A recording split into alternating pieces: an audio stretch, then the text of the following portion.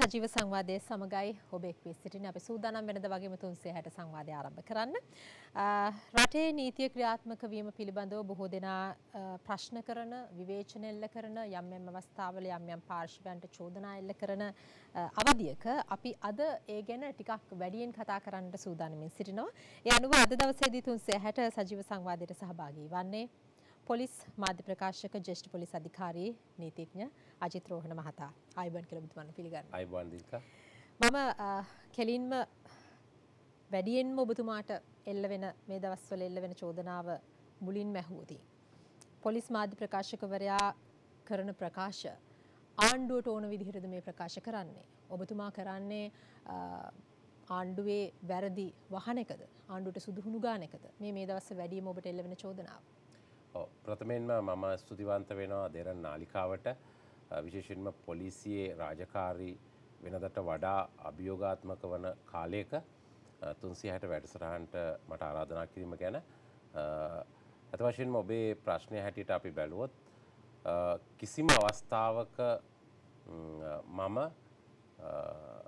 පොලිසිය කරන රාජකාරිය පොලිසිය කරන ක්‍රියාවක් ඒ විදිහටම කියනවා. ඒ වගේම පොලිසියේ වරදක් අපේ නිලධාරීන් වැරදි කරොත් ඒක ඒ විදිහටම පෙන්ලා දෙනවා.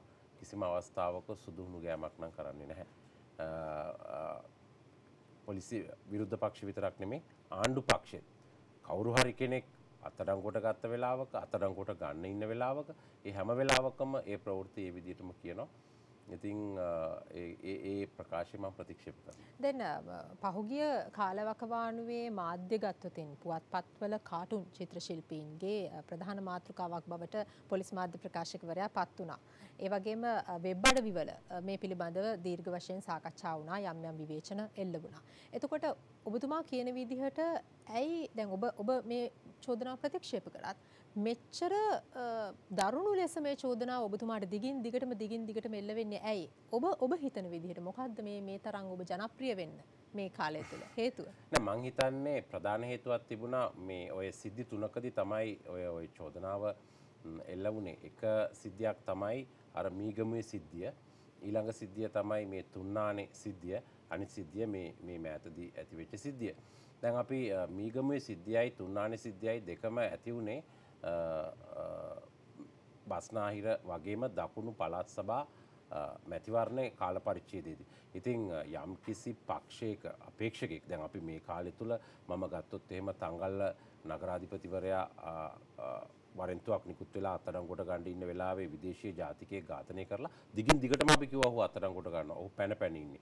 අපි ගත්තොත් විල්ගමුව ප්‍රාදේශ සභාවේ සභාපතිවරයා අත්අඩංගුවට ගන්නකොට අපි කිව්වා ඒ ගැන. ඔහු පැන පැන ඉන්නේ අත්අඩංගුවට ගන්න. ඉතින් ඒ වගේම තමයි දැන් මෙතෙන්දී පළාත් සභා අපේක්ෂකයෙක් ගැන කියන්න වුණා. ඔහු එක්සත් ජාතික පක්ෂය නියෝජනය කරපු අපේක්ෂකයෙක්. ඉතින් නමුත් පොලිසිය අත්අඩංගුවට ගත්තට පස්සේ එහිදී චෝදනාවක් නැගුවා මේ යම්කිසි දේශපාලනඥයෙකුගේ ඌමනාවට තමයි මොහු අත්අඩංගුවට ගත්තේ. නමුත් මට ඒක පැහැදිලි කරන්න වුණා නෑ එහෙම නෙමෙයි.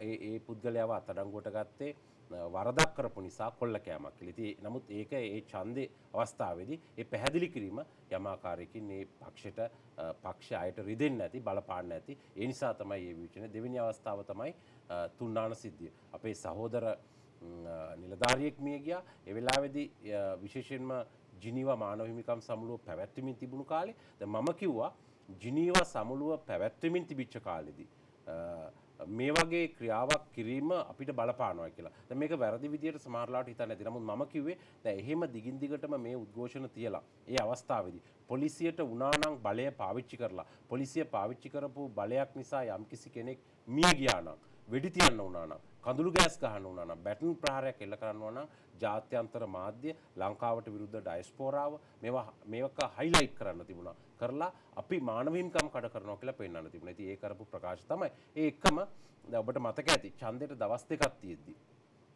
සිද්ධියක් වුණා එක්තරා ප්‍රභූ කාන්තාවක් බැංකුවට ගිහිල්ලා මුදල් දාන්න යනකොට ඒ මුදල් සමග අත්අඩංගුවට ගත්තා. ඉතින් මට එහෙනම් ඒ වෙලාවේ ඡන්දෙට දවස් දෙකයි තිබුණේ.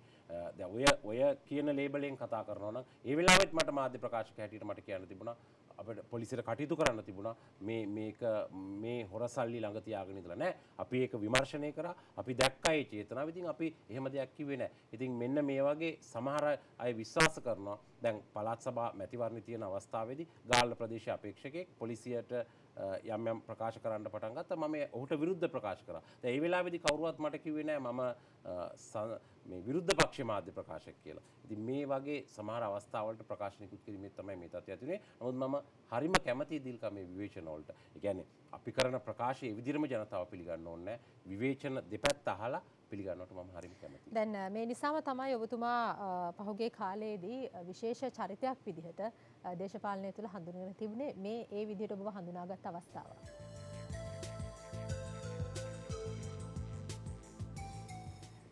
දැන් මෙහෙම ඔබතුමා පිළිබඳව හඳුන්වා දෙන්නට ඔබතුමාම පැදිලි කරන මොන වගේ වාතාවරණයක් මතද මේ වගේ කාටුම් නිර්මාණය වෙන්නේ චිත්‍ර නිර්මාණය වෙන්නේ මේ විදිහේ දේවල් හැදෙන්නේ කියලා.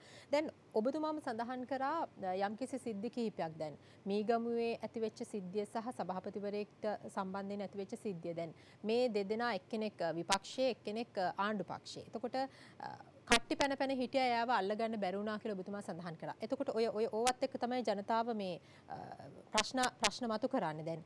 මේ එක්කෙනෙක් කට්ටි පැන පැන ඉන්නවා එයාව අල්ලගන්න බැරිද පොලිසියට. අනිත් එක්කෙනාව බොහොම කෙටි කාලයකින් විපක්ෂය කෙනෙක් වැරද්දක් කරා බොහොම කෙටි කාලයකින් ඒගොල්ලන්ව අල්ලගන්න පුළුවන්ද? අරගොල්ලන්ව අල්ලගන්න බැරිද කියන ප්‍රශ්නය. ඔබතුමන්ලට මේක සම්බන්ධයෙන් විග්‍රහයක් ඇති. ඇත්තටම දිල්කා දැන් ඔබ ඔබ බැලුවොත් එහෙම මේ අවුරුදු තුනක කාලය තුළ එකසිය පණහකටත් වැඩි එක පාර්ලිමේන්තු මන්ත්‍රීවරයෙක් පළාත් සභා ඇමතිවරයෙක් ජේෂ්ඨ ඇමතිවරයෙක් ඇතුළු එකසිය පණහකට ආසන්න ප්‍රාදේශීය දේශපාලනඥයෝ ප්‍රාදේශභා සභාපතිවරු ඒ වගේම ප්‍රාදේශභා මන්ත්‍රීවරු පළාත් සභා මන්ත්‍රීවරු මේ අය අත්අඩංගුවට අරගෙන තියෙනවා. හැබැයි මේ වැඩි පිරිසක්ම වැඩි පිරිසක්ම පාලන පක්ෂය නියෝජනය කරනයි. ඔබ කියන්න බලන්න මෑත කාලේ මේ සිද්ධිවලින් සිද්ධිවලින් මොනවගේ හරි සිද්ධියකදී ඒ එහෙම ක්‍රියාකරපු අය අත්තඩංගුවට නොගෙනින් අවස්ථාව කඩිනමින් සිද්ධ වෙලා තියෙනවා කඩිනමින් සිද්ධ වෙලා. දැන් ඒ ඔහු පැන පැන හිටිය. ඕනෙම කෙනෙක් පැන පැන ඉන්න පුළුවන්. එම පැන පැන හිටියට දැන් ඒ ඒ ප්‍රාදේශ සභා සභාපතිවරයා උසාවියෙන් වරින්තු නිකුත් වෙලා ඔහු පැන පැන හිටිය. අපේ අපරාධ පරීක්ෂණ දෙපාර්තමේන්තුව දුරකථන ජාල ගණනාවක් අධ්‍යයනය කරලා අන්තිමට පිටකෝටිදී ඉතින් ඒකේ ඒ සැකකරුවෙක්ගේ අපරාධ කරපු මිනිහෙක්ගේ චේතනාව. ඉතින් ඒ අනුව තමයි අපි ක්‍රියා කරන්නේ. දැන් ආසන්නතම සිදුවීම ගත්තොත් ඉන්න වඩාත් කතාබහට ලක්වෙච්ච ආසන්නතම සිදුවීම එක්සත් ජාතික පක්ෂ මන්ත්‍රීවරුන්ට හම්බන්තොටදී එල්ල වෙච්ච ඒ ප්‍රහාරය. දැන් ඒ ඒකත් එක්ක එහෙම මන්ත්‍රීවරුන්ට ප්‍රහාර එල්ල කරන්න හැකියාවක් තියෙනවද? එතකොට නීතිය ගැන ප්‍රශ්නාර්ථයක් ඇති වෙනවා. ඇයි මේ මන්ත්‍රීවරුන්ට ආරක්ෂාව දෙන්න පොලිසිය අසමත් වුණේ? නෑ ඇත්ත වශයෙන්ම මෙතන වැදගත් කාරණයක් ඔබ මතු කරේ. දැන් මේ මේ කාරණේ පිළිබඳව අපි ඊටාම ගැඹුරින් කතා කරනවා. හැබැයි මම කොයිම වෙලාවකවත් එදායි මන්ත්‍රීවරුන්ට ඒ කරපු ක්‍රියාව සාධාරණයි කියන්නවත් නැත්නම් ඒ පොලිසියේ නිහඬව බලා සිටීම හොඳක් කියලා කියන්න මගේ දෙකම වැරදි කියන එක පැත්තකින් ඒ ක්‍රියාව වැරදි ඊළඟ එක පොලිසිය ඒ වෙලාවේ පැහැදිලිව පේනවා නිහඬව බලා සිටියා කියලා ඒකට අපි පරීක්ෂණයක් ආරම්භ කරලා තිනවා. මේක එක කාරණයක් මතක තියාගන්න ඕනේ. මේ මන්ත්‍රීවරු නෙමේ දිල්කා හැමෝම. මොකද්ද කාරණේ? අපේ මේ ප්‍රභූ ආරක්ෂාව ගැන ප්‍රභූ ආරක්ෂාව ගැන මන්ත්‍රීවරුන්ට ප්‍රභූවරුන්ට ආරක්ෂාව සපයන්න වෙනම අපි දීලා තිනවා ඇමති ආරක්ෂකංශي. දැන් මේ මම ඔය තුන්වෙනියට මම කිව්වා මේ පහරදීම ගැන ප්‍රකාශයක් කරනවා පහරදීම ගැන විමර්ශනයක් කරනවා.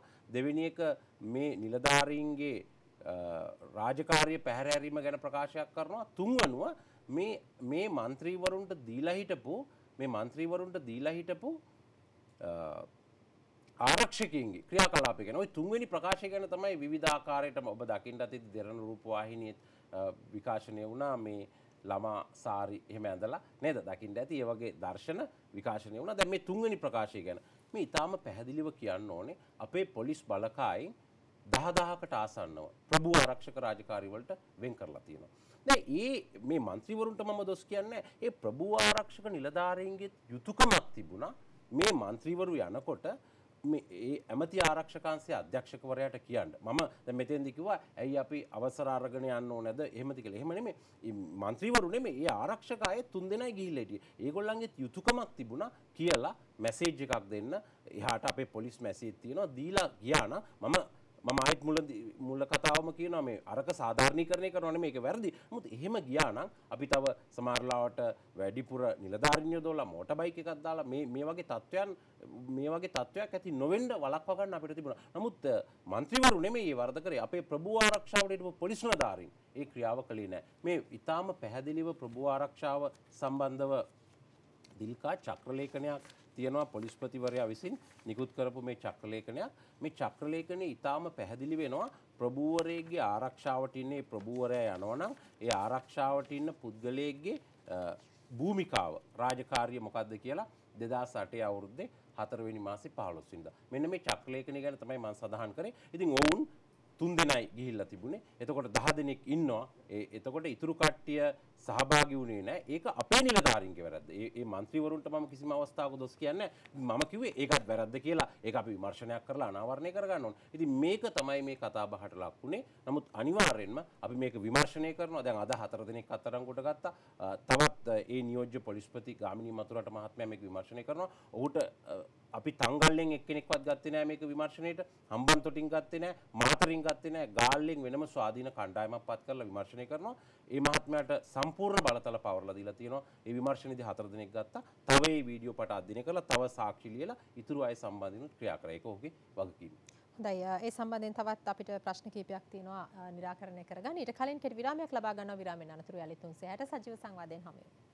ඔබ අලිත් එක්වන්නේ 360 සජීව සංවාදයේ සමගින් අපේ දුරකථන අංකය මතක් කරන්න 0117 33 62 72 7 32 72 ආරක්ෂාව සම්බන්ධයෙන් නීතිය සම්බන්ධයෙන් විනය සම්බන්ධයෙන් බොහෝ ප්‍රශ්න තියෙනවා ජනතාවට ඒ පිළිබඳව ඔබට අද දවසේදී අපිත් එක්ක කතා කරන්නට පුළුවන්. දැන් අර පසුගිය අවස්ථාවේදී අපි ඉදිරිපත් කරපු ඒ ඡායාරූපය ඔබතුමාව ගිරවෙක් හැටියට හඳුන්වපු මේ ඡායාරූපය මේක අපි දකිනවා මැයි පෙළපාලියේදීත් නිලධාරීන් විදිහට ඇඳගත්ත පිරිස් ගිරව් විදිහට අඳුරාගත හැකි ආකාරයට මැයි පෙළ පාලෙත් ගමන් කරනවා. දැන් මේ වගේ තත්ත්වයක් දැන් ඔබතුමා ඇත්තරම ගිරවෙක් විදිහටද කටයුතු කරන්නේ මේ ගැන මොකක්ද ඔබතුමාගේ අදහස?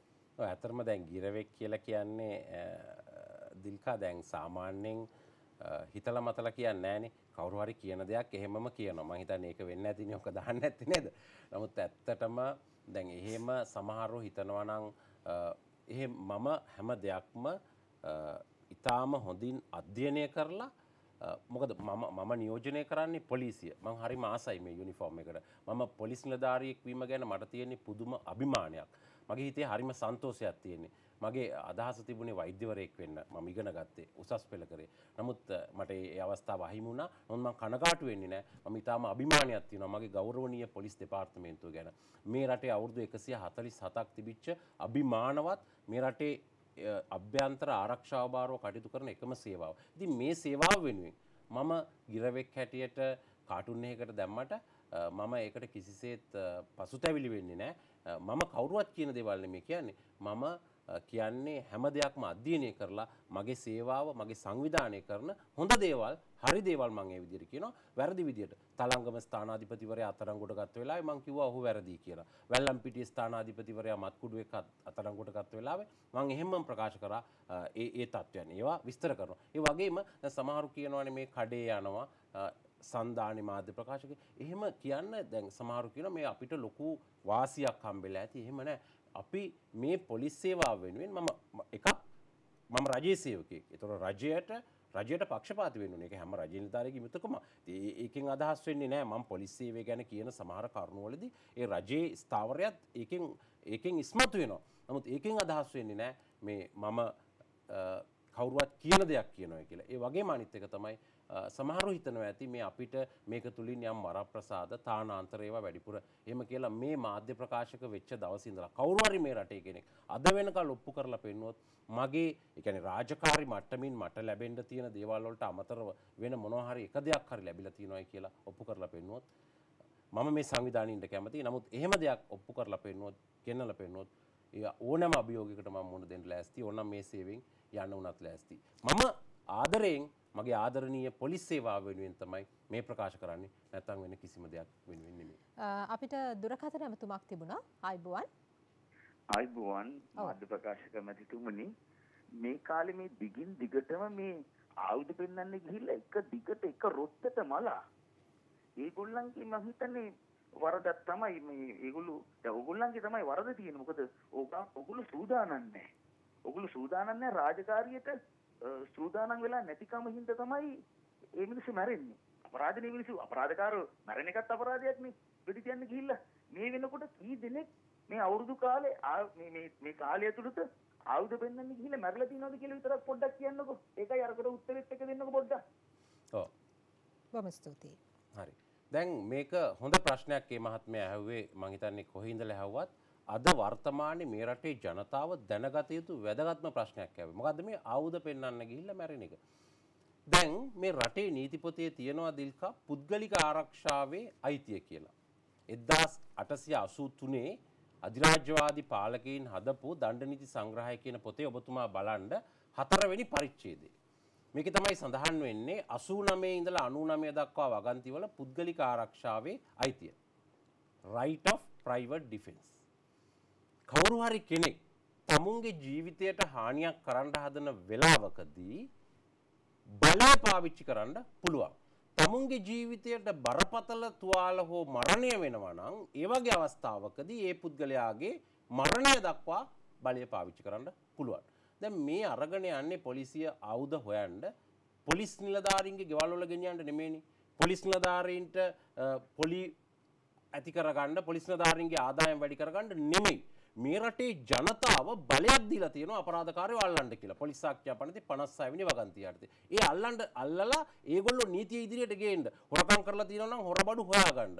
කාට හරි වෙඩි තියලා තියෙනවා නම් තුවක්කුව හොයාගන්න, පීය හොයාගන්න. මේකට තමයි මේ යන්නේ. ඒක නීතියෙන් දීලා තියෙන බලය. ඒ වෙලාවේ අපරාධකාරයා ඒක පෙන්වන වෙලාවේදී ආයුධයක් අරගෙන වෙඩි තියන්න හැදුවොත් එහෙම නැත්නම් පොලිස් නිලධාරියට පහර දෙන්න හැදුවොත් පුද්ගලික ආරක්ෂාවේ අයිතිය කියන පොතේ තියෙන නීති සිද්ධාන්තය නිකම්ම පොතේ කොළවල තිබිලා වැඩක් නැහැ. ඒක පාවිච්චි කරන්න ඕනේ. බලය මරණය දක්වා පාවිච්චි කරන්න පුළුවන්. හැබැයි එහෙම පාවිච්චි කළා කියලා දිල්කා මේ අපි නිකන් ඉන්නේ මේක ස්වාධීන පුද්ගලයෙක් ගාවට යනවා. කවුද ස්වාධීන පුද්ගලයා? පොලිස්කාරයෙක් නෙමෙයි. පොලිස් නිලධාරියෙක් නෙමෙයි. කවුද? ආණ්ඩුවේ කෙනෙක් නෙමෙයි. ස්වාධීන මහේත්‍රාත්වරයෙක් ගාවට යනවා. මහේත්‍රාත්වරයා ගාව මහේත්‍රාත්වරයා අහගෙන ඉන්නවා මේ කියන දේවල් ඇත්තද කියලා.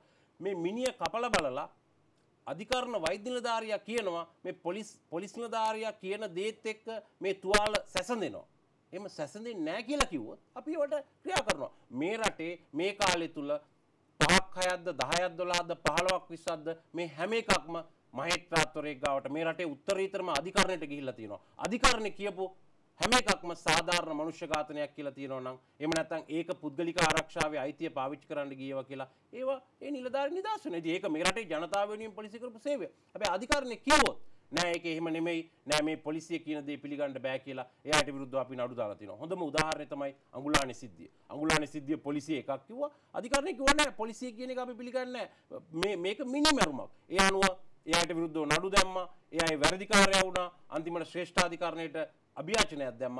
අභ්‍යාචනය වැරදිකාරය වුණ. ඉතින් අපි අපේ නිලධාරීන් වර්දක් කරලා තියෙනවා ඒ විදිහට කටයුතු කරනවා. නැත්නම් පුද්ගලික ආරක්ෂාවේ අයිතිය කියන එක පොතේ තිබිලා වැඩක් නෑ. අපි මේ ලෝකයේ ඕන රටකේ අයිතිය පාවිච්චි කරනවා. නැත්නම් අපරාධකරුවෝ රජ වෙනවන්නේ අපරාධකාරයෝනේ හැම දෙයක්ම කරන්න එතුමා සඳහන් කරනවා පොලිසිය පොලිසිය සූදානම් නැති බවක්ද මේ වගේ මේ හදිස්සි ඇතිවන ගැටුම් වලින් ආයුධ පෙන්වන්න ගිහිල්ලා මෙතන ගැටුමක් ඇති වෙනවා. ගැටුමෙන් අපරාධකරු ජීවිතක්ෂයට පත් වෙනවා. දැන් මේකෙන් තේරෙන්නේ මේ පොලිසිය සූදානම් නැතුව මේ අපරාධකාරයෙක් එක්ක මේ ගමනේ යනවා කියන එකද කියන ගැටලුව එතුමා මතක ඒකේ තීරණය දෙන්නේ අධිකරණේ එහෙම අධිකරණය මෙච්චර කාලයකදී අඟුලානේ සිද්ධියේදී අරෙන්න අනිත් කිසිවකදී එහෙම තීරණයක් දීලා නැහැ තාම. අධිකරණය කියන්නේ නැහැ පොලිසිය සූදානම් වෙලා ගිහිල්ලා තියෙන්නේ ඒ පාවිච්චි කරලා තියෙන බලය සාධාරණ බලයක් කියලා. ඒක තීරණය දෙන්නේ අධිකරණය. ඒ රටේ ව්‍යවස්ථාදායකයා අධිකරණයට ඒ බලය දීලා තියෙනවා. මහේත්‍රාත්වරයා ඒ හැම එකදීම අඟුලානේ සිද්ධියේදී කිව්වා නෑ එහෙම නෙමෙයි කියලා අපි නඩු දැම්මා. CID එක ලව්ව ඉන්ක්වයරි කරලා නඩු දැම්මා. ඒක නිසා අධිකරණය තමයි ඒක තීරණය කරන්න ඕනේ. අහක ඉන්න අයට ඒක තීරණය කරන්න බෑ. මොකද එහෙම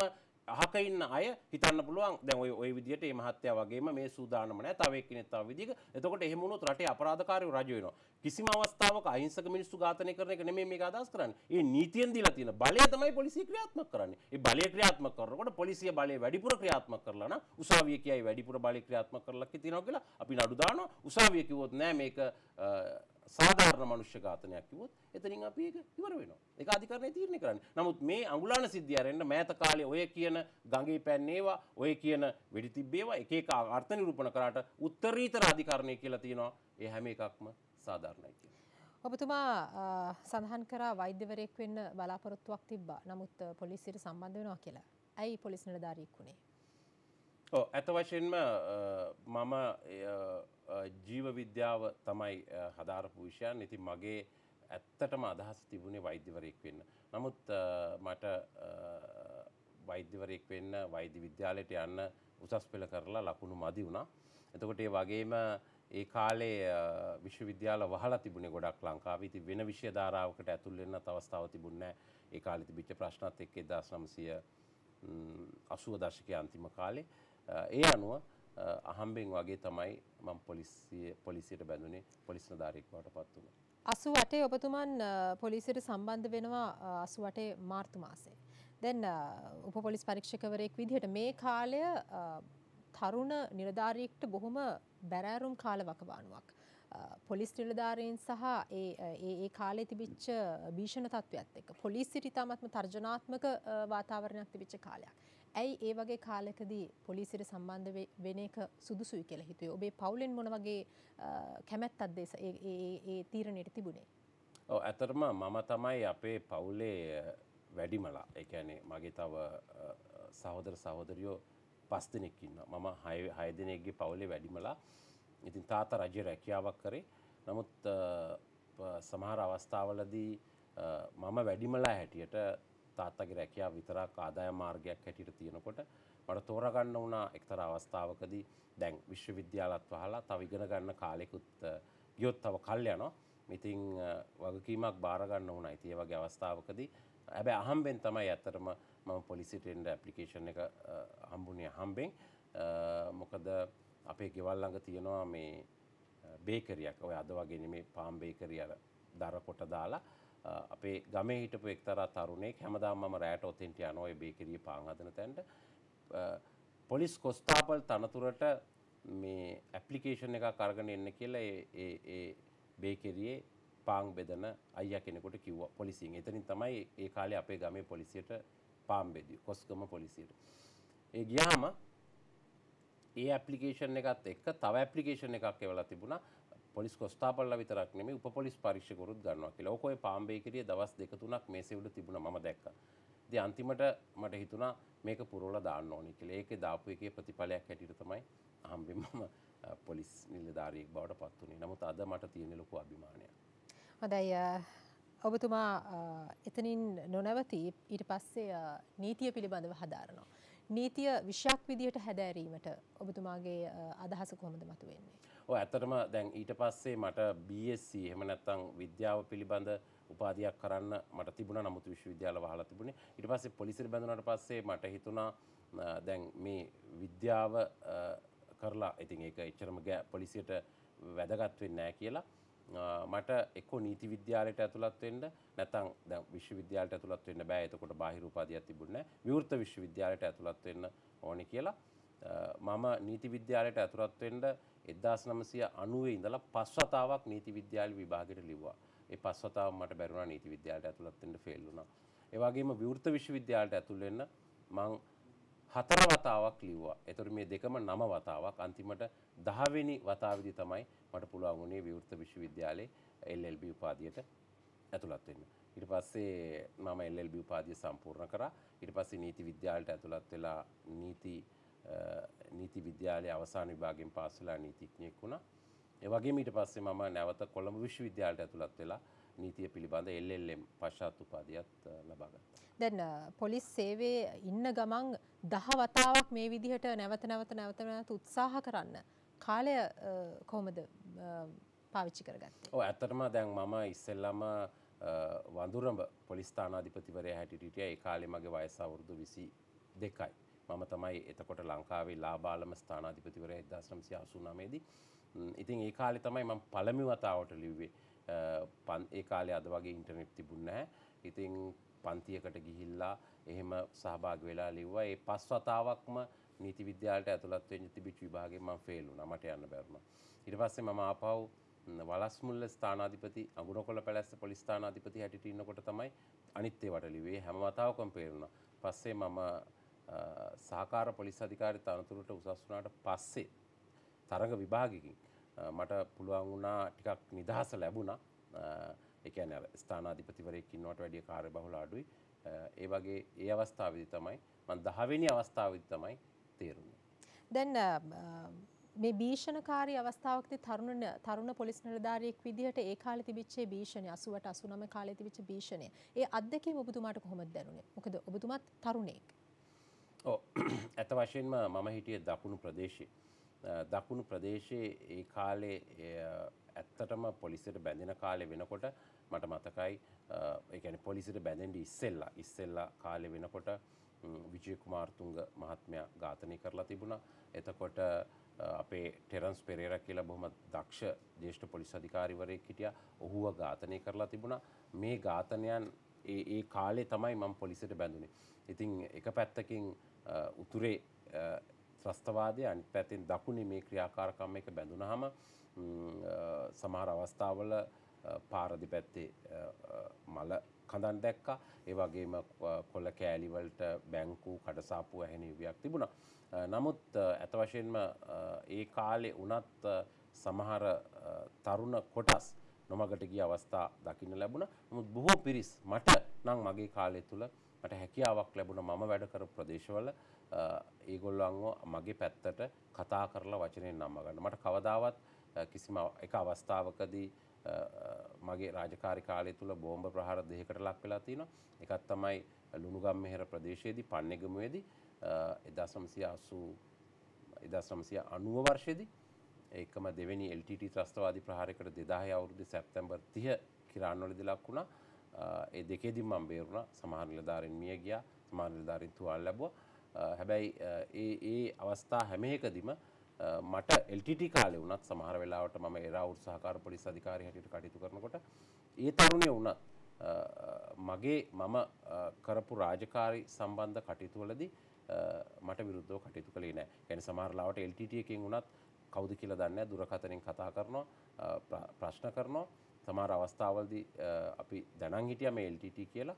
නමුත් ඔවුන්ගේ අර යුද්ධය පිළිබඳ කරුණු කාරණා කරගෙන ගියාට දැන් සමහර අවස්ථාවලදී බෝම්බ ප්‍රහාර මේ වගේ දේවල් එල්ල කරපු අවස්ථා බොහොමයකට මට මුණ දෙන්න අවස්ථාව ලැබුණා ඒ කාල පරිච්ඡේදයන් තුළ. ඉතින් ඒ වුණත් මම දැඩි විශ්වාසයක් ඇතිව රාජකාරී කරපු නිසා මට එහෙම අනතුරක් නම් වුණේ නැහැ. ඊටම කෙටියෙන් සඳහන් කරොතින් අජිත් රෝහණ කියන පොලිස් නිලධාරියා රාජකාරියෙන් බැහැරව මොන වගේ චරිතයක්ද? ඇතටම මම ඊටාම විනෝදකාමී ඒ වගේම අනුන්ගේ මතවලට ගරු කරන චරිතයක්. අපි කෙටි විරාමයක් ලබා ගන්න විරාමෙන් අනතුරු නැවතත් තුන්සෙර සමගින් හමු වෙමු. ඔබ අලිත් එක්වන්නේ තුන්සෙර සජීව සංවාදය සමගින් අපේ දුරකථන අංකය 0117336262 7336262. අපි නැවතත් හම්බන්තොට සිද්ධියට හපව් අවධානය යොමු කළොත් දැන් අපි දැක්කා අපිට හැකියාව තියෙනවා නම් ඒකට අදාළ රූපරාමු පොඩ්ඩක් ලබා දෙන්නට මොකද මේ කතාබහට ඒක වඩාත් පහසුවක් වෙනවා. දැන් අපි ඒ රූපරාමුවල දකිනවා හම්බන්තොට සිද්ධියේදී විශේෂයෙන්ම මේ දකින්නේ ඒ සිද්ධියට අදාළ රූපරාමු මෙතනදී ඉතාමත්ම පැහැදිලිව මේ අය පිළිබඳව හඳුනා ගැනීමටත් හැකියාවක් තියෙනවා. මෙතන පොලිස් නිලධාරීන් කෙරෙහි තමයි වැඩි අවධානයක් යොමු වෙන්නේ විශේෂයෙන්ම මාධ්‍යෙත්. හරි.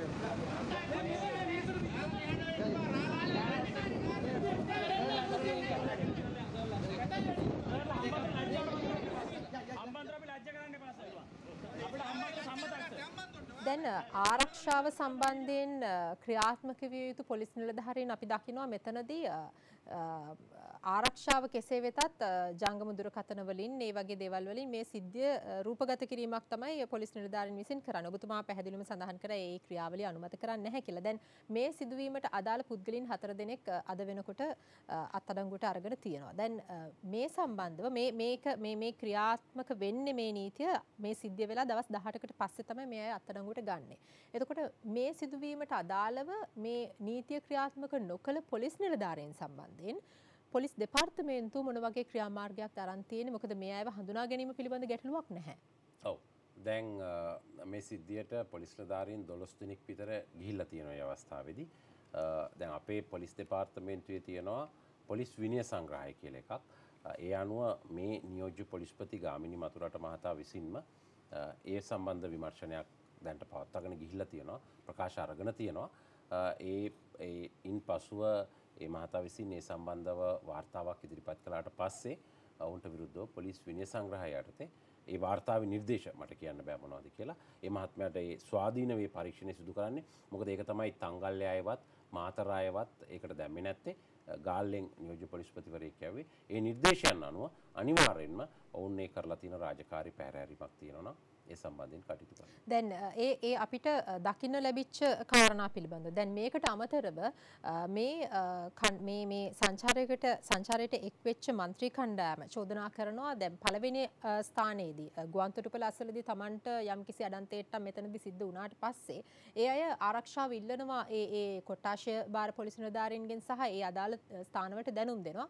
ඒ ඒ දැනුම් දීලා ඔවුන් යනවා වරාය නිරීක්ෂණය කරන්න. හැබැයි ඒ වෙනකොටත් ඒ අයට අවශ්‍ය කරන ආරක්ෂාව ඒ තමන් තමන් ආරක්ෂිතයි කියන හැඟීම ඔවුන්ට දැනෙන්නේ නැති තත්ත්වයක් ඇති වුණා කියලා. ඊට පස්සෙත් අපි දකිනවා ඔවුන් යලිත් කොළඹ බලා පැමිණෙනකොට පොලිස් රථයක් පවා එතන ඒ ස්ථානයෙන් ගමන් කරනවා. ඒ රථයට කතා කරත් ඒ අය සැලකීමක් කරන්නේ නැහැ. ඒ පොලිස් රථය එතනින් එතනින් යනවා. දැන් මේ මේ සිදුවීමට දැන් මේ මේ විදිහට පැමිණිල්ලක් කරා නම් ඒකට අඩුම තරමේ ඒකට ප්‍රතිචාර දක්වන්නට පොලිස් නිලධාරීන් පැමිණිය යුතුයි. අනිවාර්යයෙන්ම. දැන් ඒක තමයි දිල්කා මම කිව්වේ දැන් මේ මේ මේ මන්ත්‍රීවරුන්ගේ විතරක් නෙමෙයි මේක අහගෙන ඉන්න අපේ රටේ ප්‍රභූ ආරක්ෂාවට සම්බන්ධ හැම පොලිස් නිලධාරියෙක්ම මතක තියාගන්න ඕනේ තමුන්ගේ රාජකාරිය මොකද්ද? තමුන්ගේ ප්‍රභූවරයා දැන් මේ බලන්න ගරු මන්ත්‍රීවරු හතර දෙනෙක් ඒ ප්‍රදේශයට යනකොට මේ වගේ කටයුත්තකට ඒ ඒගොල්ලොන් බාර වෙන්න දැන් මෙතන උප පොලිස් පරීක්ෂකවරයෙක් හිටියා. ඇමති ආරක්ෂකංශයේ අධ්‍යක්ෂකවරයාට ඊට ඉස්සෙල්ලා දවසේ කිව්වා නම් මේ ගැන. දැන් මොකද මම අම්පාර පොලිස් අධිකාරිවරයා හැටියට කටයුතු කළා. ජ්‍යෙෂ්ඨ පොලිස් අධිකාරියා හැටියට මන්ත්‍රීවරයෙක් මේ වගේ කණ්ඩායමක් දැන් තනි තනිව නෙමේ ඒ වගේ එනකොට අපිට ඇමති ආරක්ෂකංශයෙන් දැනුම් දෙනවා. හෙට අහවල් වෙලාවට කණ්ඩායමක් එනවා. දැන් එකපාරට ඔබ දුරකථනින් මම මේ මම මේ මතේ නැවතත් කියන්න ඕනේ මේ මයි කතාව මේක සාධාරණීකරණය කරනවා නෙමෙයි පොලිසිය කතාව. නමුත් එකපාරට ඔබ මත්තල ඉඳලා මේ හම්බන්තොට්ට එන්න සාමාන්‍ය විනාඩි 30ක් විතර ගත වෙයි. කතාව දැන් අපි මෙතෙන්ට එනවා අපිට මෙහෙම ප්‍රශ්නයක් වුණා. ඉතින් පොලිසිය එකපාරටම මේ කණ්ඩායමක් මේ තත්පර ගාණක් ඇතුළත සූදානම් කරලා මෙතෙන්ට විශාල කණ්ඩායමක් යවන්න බෑ. එකපාරට ඒ හිටපු 12 දෙනෙක් තමයි ගිහිලා තියෙන්නේ. නමුත් ඒ 12 දෙනා රාජකාරිය පැහැරලා තිනවා ඒක ඇත්ත. නමුත් මම කියන්නේ മന്ത്രിවරු නෙමෙයි. මේ හිටපු ප්‍රභූ ආරක්ෂක නිලධාරීන්. දැන් එතන 3 දෙනයි ගියේ. 10 දෙනෙක්ින් 10 දෙනෙක් ඒ ඒ ඒ මහතුරුන්ට දීලා හිටියා. ඒතර ඒ නිලධාරීන්ගේ යුතුයකමක්ව තිබුණා මේක ඊට ඉස්සෙල්ලා දවසේ කියලා අපේ කණ්ඩායමක් එනවා. අපි එහෙමනම් මේ පොලිසියට මේ දෝෂාරෝපණයක් එන්නෙත් නැහැ. රජයට මේ දෝෂාරෝපණයක් එන්නෙත් නැහැ. මේක ලස්සනට සංවිධානය කරලා අපි යතුරු පැදියක් ඉස්සරහට දාලා බැකප් වෙහිකල් එක නැත්නම් ආරක්ෂිත වාහනයක් දාලා අපිට හොඳට මේක දෙන්න තිබුණා. හැබැයි ඒකෙන් මම අදහස් කරන්නේ ආයිත් මම කියනවා මේ නිලධාරීන් කටයුතු කරපු ආකාරය හරි කියලා වැරදි. ඉතින් ඒ වෙලාවේ එකපාරට කෝල් එකක් දුන්නා. ඒ කෝල් එක දීපු වෙලාවේ මූලස්ථාන පොලිස් පරීක්ෂකවරයා ඒ හිටපු නිලධාරී ප්‍රමාණයක් එක්ක ගිහලා දෙනවා. මොකද අපිට එකපාරටම 30ක් 40ක් ගෙනියන්න ඒ වෙලාවේ නැහැනේ පොලිසිය වෙන වෙන රාජකාරී. හැබැයි ගිහිපු අයගෙනුත් ඒ අවශ්‍ය රාජකාරී සිද්ධ වෙන්නේ නැහැ. අවශ්‍ය රාජකාරී සිද්ධ වෙන්නේ ඒක අනිවාර්යයෙන්ම මම පිළිගන්නවා. ඉතින් ඒක නිසා හැම ප්‍රභූ ආරක්ෂක නිලධාරියෙක්ම මීට වඩා වගකීමෙන් කටයුතු ඒගොල්ලෝ අපේ නිලධාරීන් අපි අපි 10000ක් යොදවලා තියෙනවා මේ ප්‍රභූ ආරක්ෂක සේවාවලට. ඉතින් ඒ යොදවලා තියෙන්නේ ඒගොල්ලෝ නිකම් බලාගෙන ඉන්න නෙමෙයි තමුන්ගේ ප්‍රභූවරයාගේ සංචාර ගැන අහලා මේවා කරලා ක්‍රියා කරන්න ඕනේ. ඒගොල්ලෝ ගිය පොලිස් නිලධාරීන්ගෙන් සේවය පැහැර හැරීම සම්බන්ධයෙන් තමයි මේ වෙන විට ඔබතුමා කියපු විදිහට ඒක අපි පැහැර හැරලා කියලා කියන්නේ ඒ විමර්ශනයක් කරගෙන යනවා. පැහැර පැහැර හැරීමක් වෙලා තියෙනවා නම් ඒ ගැන කටයුතු කරනවා. එහෙම නැත්නම් ඉතින් අපිට ඒක හරියට කියන්න බෑ විමර්ශනයක් අවසන් වෙන්නේ නැතුව. නමුත් මේ හම්බන්තොට පොලිසිය නිලධාරීන්ගේ සේවය පැහැර හැරීමක් වෙලා තිබෙන බව බැලු බැලමට පේනවා. ඒගොල්ලන්ට විරුද්ධව අපි කටයුතු කරනවා. දැන් ඔබතුමා මේ සම්බන්ධයෙන් යම්කිසි වෙබ් අඩවියකට මම මේ දැකපු ප්‍රවෘත්තියක් වෙබ් අඩවියකට සදාන් කරලා තිබුණා මේ පිළිබඳව ඔබ ලැජ්ජාවට පත් වෙනවා සහ මාධ්‍ය ප්‍රකාශක තනතුරත් එපා වෙලා තියෙන්නේ කියලා මේ මේ ප්‍රකාශය ඇත්තක්ද නෑ ඊට පස්සේ ඒක මං හිතන්නේ ජාතික පුවත්පතකින් නිවැරදි කරලා තිබුණා. මං එහෙම ඒ වෙබ් අඩවියට ප්‍රකාශ කරේ නැහැ. ඒ වෙබ් අඩවියේ ගැන පළ වෙලා තිබුණා. නමුත් මම ඇත්තටම කනගාටු වෙනවා. අද අපි මේ හැම අවස්ථාවකදීම සමහර අවස්ථාවලදී අපේ නිලධාරීන් යම්කිසි රාජකාරි පැහැරෑරීමක් වරදක් ඒ වගේ දෙයක් කරලා තියෙනවා නම් ඒ ගැන අපි අනිවාර්යෙන්ම දිගින් දිගටම ප්‍රකාශ නිකුත් කරනවා. ඒ නිකුත් කරන ඒවා වැරදි විදිහට අපි කියනවා මිස්කෝට් කරනවා කියලා. ඒ කියන්නේ වැරදි විදිහට සමහර වෙබ් අඩවිවල පළවෙන ආකාරයද ඔබ දකින්න ඇති දැන් මාස දෙක තුනකට ඉස්සෙල්ලා පොලිස් මාධ්‍ය ප්‍රකාශක කියනවා කියලා පළ වෙලා තිබුණා. මගෙන් දිගටම අහන්න පටන් ගත්තා කාන්තාවන්ට ඉදිරි අසුනේ යන්න බෑයි කියලා. ඉතින් ඒක ඒ වගේ සමහර වෙලාවට ඇති වෙබ් අඩවිවල පළවෙන ඔවගේ පුවත් තියෙනවා. දෙදස් එකොළ හැසිට ඔබතුමා මාධ්‍ය ප්‍රකාශකවරයා විදිහට කටයුතු කළ ඊට පස්සේ වසරක පමණ කාලයක් මේ තනතුරෙන් ඔබතුමාව ඉවත් කරනවා.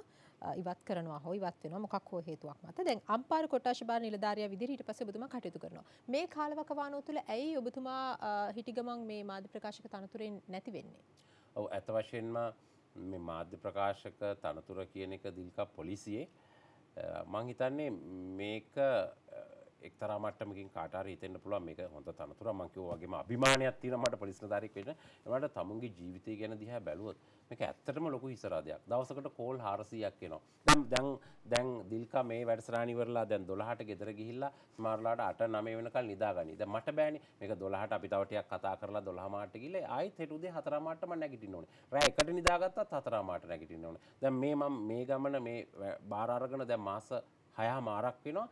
මේ හැම දිනේකම මොන කීයට නිදාගත්තත් මං හතරාමාට නැගිට්ට. ඔබතුමා සාමාන්‍යයෙන් රාජකාරී ආරම්භ කරන්නේ හතරම හතරාමාට හතරාමාට නැගිටිනවා වෙබ් වෙබ් අඩවිවලට ගිහිල්ලා ඒවා බලන්න ඕනේ. පහමාර ඉඳලා මගෙන් වොයිස් කට් ඉල්ලනවා. ඊට රෑ වෙච්ච ඊට ඉස්සෙල්ලා දවසේ රෑ වෙච්ච සිදුවීම් ගැන ගන්න ඕනේ. කෝල් 350කට විතර අහනවා. ඉතින් මේ අහන ඒවා රෙකෝඩ් වෙනවා. එක වචනයක් වැරදුනොත් ඒකේ වගකීම එනවා. ඒක පැත්ත ඊළඟට රෑ ආපහු 10 මාර 11 12 වෙනකල් ඇහැරලා ඉන්න ඕනේ. ඒක එක පැත්තක්. ඉතින් ඒ නිසා මම පොලිස්පතිතුමාට අවුරුද්දක් සම්පූර්ණ වෙනකොට මම කිව්වා ඒ එක්තරා අවස්ථාවක් එනවා මේක දරා ගන්න බැරි. දැන් දෙරණෙන් අහන්න පුළුවන් මේ හම්බන්තොට ප්‍රශ්න ගැන. තව එක්කෙනෙක් අහන්න පුළුවන් අද මුල්‍යාවලි සිද්ධියක් වෙලා තියෙනවා ඒක ගැන. තව එක්කෙනෙක් අහන්න පුළුවන් වකුගඩු ජාවාරම ගැන. විවිධ ප්‍රශ්න අහන්න. ඉතින් මේ ඔක්කොම දුරකථන ඇමතුම් වලට මිනිහෙකුට දරා ගන්න බැරි වෙන වෙලාවක් එනවා. ඉතින් ඒක හරි අමාරු. මං හිතන්නේ පොලිස් මාධ්‍ය ප්‍රකාශකකම තමයි වර්තමානයේ මේ මාධ්‍යයේ තියෙන බැරෑරුම්ම වෘත්තිය. මොකද මේ දුරකථන ඇමතුම් වලට අනිත් එක මේවා හැම එකක්ම වැදගත්කමකින් යුත් ප්‍රකාශයක් වෙනවා. ඉතින් ඒ නිසා මම ඉල්ලීමක් කරා පොලිස්පතිතුමාගෙන් දිගටම අන්තිම අවස්ථාවේදී එතුමා මට ඒ සහනය ලබා දුන්න. මම මම අවුරුද්දක් ඉන්නකොට ඉතින් ඒ අනුව තමයි මම අම්පාරට ගියේ කැමැත්තෙන්ම. ඉතින් ආයි මගේ අවුරුද්ද හරියටම ඉවර වෙනකොට පොලිස් ඒක අපේ ආයතනයේ ප්‍රධානී හැටියට පොලිස්පතිතුමාගේ කැමැත්ත මත තමයි හැම දෙයක්ම සිදු වෙන්නේ එතුමා විශ්වාස කරන්න ඇති මම නැවත මාධ්‍යයට හොඳයි කියලා. ඒක නිසා මාව පත් කරා. ඉතින් එතුමාගේ කැමැත්ත අනුව මම ඒක සතුටින් බාරගත්තා. මගේ ආයතනය වෙනුවෙන් සේවය කරන්න ටිකක් අමාරු වුණාට ඒ නිසා තමයි ඔබතුමා ජනප්‍රිය වෙලා තියෙන්නේ. මම විශ්වාස කරනවා ඔබතුමත් දිගටම මේ රජයේ නිලධාරියෙක් විදිහට කටයුතු කරයිද නැත් එහෙම නැත්නම් මේ ජනප්‍රියත්වයත් එක්ක දේශපාලනයට එහෙමයිද? කවදාවත් නැහැ. කිසිම දවසක මගේ එහෙම අදහසක් ඇත්තෙම නැහැ. විවිධ මත විවිධ කාටුන් හිටන් තියෙනවා. කවමදාවත් දිල්කා දේශපාලනයට එීමට මගේ කිසිම අදහසක් නැහැ. මම පොලිස් නිලධාරියෙක් හැටියට මට පුළුවන් තාක්කල් කටයුතු කරනවා. ඊට පස්සේ මම කැමති නීතිඥයෙක් හැටියට කටයුතු කරන්න. එහෙමත් නැත්නම් මම එක්සත් ජාතීන්ගේ සංවිධානයේ අවස්ථා දෙකක් රාජකාරී කරලා තියෙනවා හයිටි රාජ්‍යයේ සහ සුඩානේ. මගේ මේ තියෙන සුදුසුකම් එක්ක මට ස්ථිර වශයෙන්ම එක්සත් ජාතීන්ගේ සංවිධානයේ සාමසාධක මෙහෙවරකට ඇතුළත් වෙන්නත් හැකියාවක් තියෙනවා. ওই තුන තමයි මගේ බලාපොරොත්තු. දේශපාලනයට එන්න කවදාවත් මගේ අදහස. මෑතකදී සිද්ධ වෙච්ච තවත් සිදුවීමක් තමයි උඩවැලව අලි පැටවා පැහැරගෙන යාමට උත්සාහ කළ අවස්ථාවේ ඇති වෙච්ච සිද්ධිය.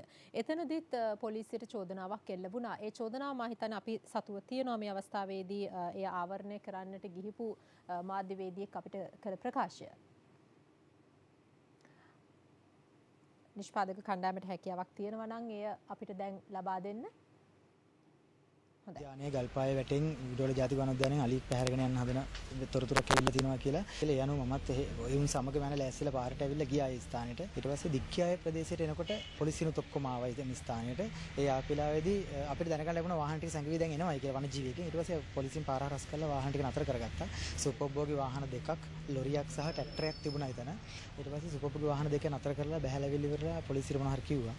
ඊට පස්සේ ඒ සුළු වෙලාවෙන් පොලිසියට කෝල් එකක් ආවා හෙලින්. යාවර පුළුවන් ආ හරි හරි කමන්න ওই වාහන දෙක යන්නේ කියලා යවුවා. මම මේ යවන එක වීඩියෝ කරා. ඒ වෙලාවේ චුට්ටක් එහා පැත්තට ගියා සුපොබ්බෝගේ ජිප් එක නතර කරලා බහැලා ඇවිල්ලා කවුද මාධ්‍යවේදී කියන විදිහට වීඩියෝ කරන්න කියලා මාව ඇදලා අරගෙන ගිහිල්ලා ඉවරයි ජිප් එකේ තුන් සැරයක් විතර හප්පලා දොර ඇරලා ජිප් එක තුල දාගත්තා. ඊට පස්සේ චුට්ටක් ඇරලා මාව එළියට තල්ලු කරලා දාලා ඉවරලා මේ වාහනේ ගියා කැමරාවත් අරගෙන මගේ. ඊට පස්සේ විනාඩි 30 විතර පස්සේ පොලිස් නිලධාරීන් මට කැමරාව ගෙනත් දුන්නා. හැබැයි ඒ වෙද්දි මගේ කැමරාවේ පීස් එකත් ඒගොල්ලෝ අරගෙන. ඉතින් මේ සිද්ධිය උනේ වනජීවි නිලධාරීන් සහ පොලිසියෙන් සියලු දෙනා සිටියේදී. ප්‍රසිද්ධියේ මිනිස්සු ඔක්කොම ඉන්න තැන සිද්ධ වුණේ. ඒගොල්ලෝ යන්න ගියා. මොකක්ද මේ සිදුවීම මේ පිළිබඳව සොයා බැලීමක් කළා ඊට පස්සේ? කර දැන් මෙන්න මේකත් ඉතා වැදගත් කාරණයක්. දැන් මේ අපේ රටේ එක එක දේවල් වලට එක එක ආයතන තියෙනවා.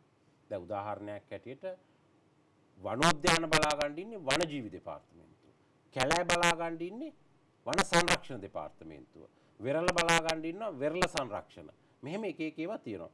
දැන් මේ සිද්ධිය ඇති වෙලා තියෙන්නේ වනෝද්‍යානයේ ඇතුලේ. ඒ ඇතුලේ ඇති වෙලා යම් යම් හේතුවක් මත වනජීවි නිලධාරීන්ට ඔවුන් අත්අඩංගුවට ගන්න බැරි වෙලා පොලිසියට පණිවිඩයක් දීලා 9 මාර්ට තමයි පොලිසිය මේ ස්ථානට කණ්ඩායමක් අරගෙන ගියේ. ඒ මහත්මයා කිව්ව විදිහටම වාහන පෙළක් ඇවිල්ලා තියෙනවා. ඒ වාහන පෙළ නවත්වලා බලලා යම් ආකාරයකින් පොලිස් නිලධාරීන් ඒ වාහන යවලා තියෙනවා. දැන් ඔය අලි පැටියගේ සිද්ධිය වෙලා තියෙන්නේ වනෝද්‍යානයේ ඇතුලේ. හැබැයි ඒකෙන් අදහස් කරන්නේ මේ වාහනේ යවපු එක හරි කියලා. වැරදි. ඒ අනුව අපිට ඒ තොරතුරු ලැබුණා. මේ මාධ්‍යවේදී මහත්මයාම මටත් කතා කරා. ඒ වෙලාවෙම අපි කියලා දැන් නියෝජ්‍ය පොලිස්පති රත්නපුර දිස්ත්‍රික්කය භාර නියෝජ්‍ය පොලිස්පතිවරයා මැක්සි ප්‍රොක්ට මහත්මයාගේ අධීක්ෂණය යටතේ සහකාර පොලිස් අධිකාරිවරයෙක් ලව්ව විමර්ශනයක් කරනවා එකක් මේ කණ්ඩායම යව්වයි කණ්ඩායම කවුද ඒ සම්බන්ධව දෙවෙනි එක පොලිස් නිලධාරීන්ගේ රාජකාරී පැහැරීම. මම එකක් මතක තියාගන්න ඕනේ.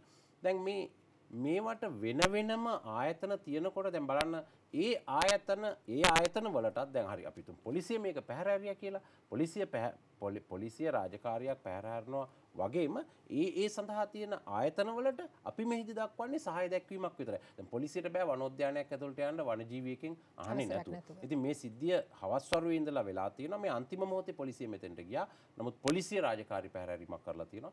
අපි ඒ සම්බන්ධයෙන් අනිවාර්යයෙන්ම කටයුතු කරනවා. හැබැයි වගේම මේ රටේ යම් යම් දේවල් භාරව තියෙන ආයතන පොලිසිය පිටිම වක්කීම දාන්න නැතුව ඒගොල්ලොත් තමුන්ගේ වක්කීම ඉෂ්ට කරන්න අවශ්‍යයි. හොඳ අපි යළිත් කෙටි විරාමයක් ලබා ගන්න විරාමෙන් අනතුරු නැවත තුන්සයට සමගින් හමු වෙමු. ඔබ යළිත් එක් වෙ සිටිනේ 360 සජීව සංවාදයේ සමගින් අපේ දුරකථන අංකය 0111 733 72 62 733 72 62 අපිට දුරකථන ඇමතුමක් තියෙනවා. අයිබෝවන්. අයිබෝවන් මම දැනගන්න අවශ්‍යයි පොලිස් මාධ්‍ය ප්‍රකාශකතුමාගෙන්. ඔව් ඔව් ඔබතුමාගේ ප්‍රශ්න කරන්න. මට දැනගන්න අවශ්‍යයි දැන් ෆුල් ෆේස් හෙල්මට් නිසා දිගින් දිගටම මංකොල්ල කියන්නේ කියන්නේ බැංකු මංකොල්ල කෑම වගේ සිද්ධ වුණා. ඒ සඳහා රජය හා ඔබතුමාලා විසින් මොකක් හරි ක්‍රියාමාර්ගයක් ආරම්භ කරන්නට තහනම් කිරීමක් වගේ. හොඳයි බොහොම ස්තුතියි මම මේ පිළිබඳවත් ඔබතුමාගෙන් ඊට පස්සේ කතා කරන්න හිටපු මාතෘකාවට එතුමා ප්‍රවේශයක් ලබා දුන්නේ දැන් පසුගිය දිනවල අපි දැක්ක දිගින් දිගටම මංකොල්ල කැම් සිද්ධ වෙනවා CCTV කැමරාවලින් ලබාගත්තේ රූපරාමු මාධ්‍ය හරහත් ජනප්‍රිය වුණා ප්‍රචාරය කෙරුණා දැන් මේවත් එක්ක ඔබතුමන්ලා මාධ්‍ය හමු පවත්වමින් සඳහන් කරනවා ෆුල් ෆේස් හෙල්මට් තහනම් කරන්න කටයුතු කරනවා කියලා. නමුත් මේක ක්‍රියාත්මක වෙනවද කියන එක පිළිබඳව ප්‍රශ්නාර්ථයක් තියෙනවා. මොකක්ද මේ සම්බන්ධයෙන් ගන්න ක්‍රියාමාර්ගය? ඔව් ඊටාම හොඳ ප්‍රශ්නයක් මහත්මයා හැව්වේ මේ මේ රටේ නීතියත් එක්ක තියෙන මාධ්‍ය භාවිතය සම්බන්ධ ප්‍රශ්නයක්. දැන් අපේ රටේ 1991 ආපු ගැසට් නිවේදනයක් තියෙනවා. මෝටර් වාහන පනතට අදාළව මේක අනුව යම් කිසි කෙනෙක්ගේ ඇහි බැමේ ඉඳලා නිකට දක්වා ප්‍රදේශය ආවරණය වෙන ආරක්ෂක හිස්වැස්මක් පළඳින්න බෑ. ඒක නිරාවරණය වෙලා තියෙන්න ඕනේ. වයිසරයක් දානවා නම් එහෙම නැත්නම් ඒකට අදාළ වීදුරුවක් දානවා නම් ඒ වීදුරුව විනිවිද පේන්න ඕනේ මුහුණ. මේක තමයි නීතිය. දැන් පහුගිය නොවැම්බර් මාසේ දිල්කා මේ නීතිය ක්‍රියාත්මක කරන්න අපි උත්සාහ කරා. මම නිවේදන නිකුත් කරා. මේ රටේ බහුතර මාධ්‍ය මේ වෙලාවෙ කිව්වේ මේක එක්තරා ටැක්සි වගේයක් ගෙන්න්නට හදනවා දේශපාලනඥයෙක් ඒකට අත වනන්ට එකන මිනිස්සුන්ට හෙල්මට් නැතුව ටැක්සි වල යවන්ඩ හද උත්සාහයක්. මේක තුළින් ශෝගම් එකට යමක් කරන්න කරන උත්සාහයක්. මෙහෙම කියලා ලොකූ මතයක් ඇති කරා. රටේ වෙබ්බඩ විහරා මේවාහරා මේ හෙල්මට් තහනම් කරන්න යනකොට මේ නීතිය අනුවකයාපු මතයක් ඇති කරලා මේ යතුරු පැදිකරුවෝ දහදාහක් මෙතන ජනාධිපති ලේකම් කාර්යාලය ගාවට ගේන්ට පව උත්සාහ කර. ලොකු මතයක් මාධ්‍යෙන් නැති කර මේ සම්බන්ධ. මම කිව්වේ කාරණා දෙකයි. ලංකාවේ මාරක රියානතුරු වෙලා තියෙනවා. මේ මාරක රියානතුරු මෝට සයිකල් වලින් හස්සියක් විතර අවුරුදුකට මැරන අටසියක් විතර යතුරු පැදිකරුව. නමුත් ඒවෑන් ඔය හස්සියෙන් දෙන්නෙක් ගෙවත් නෑ. මේ මෙහ මේ හරි තුවාල වෙච්චේ වැෑන් මැරිච්චි ඔක්කොම තියෙන මේ පැත්ත. එකන කවරුවර හිතනන මේ ෆුල් ෆේස් සෙල්මට් ොලින් කියලා. ඒක මිත්‍යාවක්. එහෙම ඇක්සිඩන්ට ොලින් අනාවරණය වෙලා නෑ. ඒ වගේම දැම් නමුත් මේක අපි ක්‍රියාත්ම කරන්න හදනකොට මොකද කරේ? මේ දුපත් මිනිස්සුන්ට දැම් ෆුල් ෆේ සෙල්මට අරන්තියෙන්නේ මේක නිසා එක පාට අනිත් හෙල්මටයක් ගණඩ බෑ කියල මතයක් ඇති කරලා මේ මිනිස්සු ගන්න දල මේ කර. ඒවගේ වෙළෙන්දත් කරේ අවස්ථාවෙන් ප්‍රෝජන ගණ්ඩ රුපියල් තුන්දහට තිබිච්ච එක හයදහ කරයි කියන්නේ මේ මුහුණු ආවරණය වෙච්ච හෙල්මට එක. වෙලාවේ ලොකු ප්‍රශ්නයක් ඇතිවුණා පස්සේ අපිම ඒ නීතිය මොකද රටක නීතියක් ක්‍රියාත්මක වෙන්න ඕනේ කාටවත් අවශ්‍යතාවට මේ ජනතාවශ්තාවට ඒකින් ජනතාව තව තව පෙළිනවන මේ රටේ මොටසයිකල් පාවිච්චි කරන්නේ තියෙන මිනිස්සු නෙමේනි මධ්‍යම පන්තියත් නෙමේ ඊටත් වඩා සාමාන්‍යෙන් සාමාන්‍ය පන්තිය මිනිස්සු. ඒ මිනිසුන්ට වැඩක් වෙනින්ද එක නැවැත්තු ඒ නීති ක්‍රියාත්මක වීම නැවැත්තුවා. නමුත් නීති පොතේ එක තියෙනවා. දැන් අපි ඊට පස්සේ දිගින් දිගටම මේ වගේ මේ කොල්ල කෑම් සිදුවනා නමුත් කොල්ලකරුව හිතුව දැන් මේ හෙල්මට් එක තියෙන ඔළුව බේරගන්න යන්නේ මේක කොල්ල කණ්ඩයන්න තමයි හෙල්මට් එක තියෙන්නේ කියලා කරලා දිගටම කරගෙන ගියා.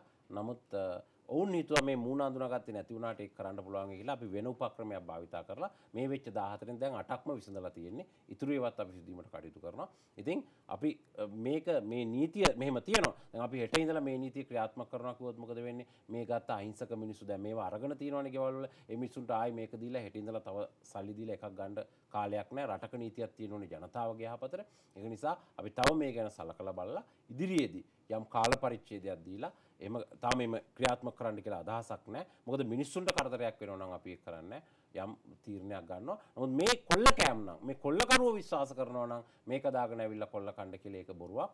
අනිවාර්යෙන්ම ඒ අයට සම්බන්ධව නිසි ක්‍රියාමාර්ග අපි ගන්නවා. දැන් තවත් කාරණයක් තමයි විශේෂයෙන්ම දිවා කාලයේදී මේ මෝටර් බයික් වල ප්‍රධාන ලාම්පුව දල්වගෙන ගමන් කරන්න කියලා එහෙම නීතියක් ඉදිරිපත් කරා. දැන් මේකත් ක්‍රියාත්මක වෙනවද කියන ප්‍රශ්නයක් තියෙනවා. මොකද අපි දැනටත් දකිනවා දිවා කාලයේදී එහෙම නැති අනන්තවත් මෝටර් බයික් ගමන් කරනවා මහා මාර්ගයේ. දැන් මේ සම්බන්ධයෙන් නීතිය ක්‍රියාත්මක වෙනවද හරියටම? ඔව් දැන් දිල්කා මේ මේ අපේ රටේ නම් නැහැනේ මේ වින්ටර් එක කියලා ශීත ඉර්තුව කියලා. ද ලෝකයේ බොහෝ රටවල් වල මේ ඉර්තුව තියෙන එතකොට රෑත් දවල් වගේ දවලුත් රෑ වගේ මේ වගේ ප්‍රශ්න තියෙනවා. ති ඕකට තමයි ෆොග් එක කියලා කියන්නේ. මීදුමට ඕක භාවිතා කරලා ගියහම වැඩි අවධානයක් යොමු වෙනවා කියලා තියෙනවා. මේක ඔස්ට්‍රේලියාව වගේ රටවල් වල ඉතා හොඳට ක්‍රියාත්මක වෙනවා. නමුත් බොහෝ යතුරු පැදි භාවිතා කරන රටවල් දැන් අපි මේක නීතියක් නෙමෙයි ගෙනාවේ. විශේෂයෙන්ම අපේ පොලිස්පතිතුමාගේ අනුමැතිරත් යරත්ව අපේ රතවාහන භාර නියෝජ්‍ය පොලිස්පති අමර සිරිසේනරත්න මහත්මය තමයි මේක හඳුන්ලා දෙන්න උත්සාහ කරේ. අපි මේක ක්‍රියාත්මක කරලා බලමු කියලා ජනවාරි මාසේ 15 වෙනිදා මේක කිව්වා. දවල්ටත් මේක දාගෙන යන්න කියලා. දැන් මේක නීතියක් නෙමෙයි, නියෝගයක්ුත් නෙමෙයි. මම මාධ්‍ය සාකච්ඡා කීපකදී ඉල්ලීමක් කරා. දැන් අපි පහුගිය කාලේ බස්නාහිර පලාත විතරයි පස්සේ අවුරුදු කාලෙකිව ලංකාවෙම දාගෙන යන්න කියලා අදටත් ඒ අපේ ඉල්ලීමට රටේ නීතියක් එහෙම නැහැ. ගරු කරමින් අපිට ඕනෙකම තිබුණේ මේක අත්හදා බැලීමක් කරලා අනතුරු අඩු වෙනවද කියලා බලන්න. ඇත්ත වශයෙන්ම අපි බලපුවාම අනතුරු වල අඩුවක් තියෙනවා. ඒ වගේම ප්‍රධාන විදුලි ලාම්පුව දල්වගෙන ගිය යතුරු පැදිකරුවෝ අනතුරු වලට මුහුණ දීලා තියෙනවා ඊටාම අඩුයි.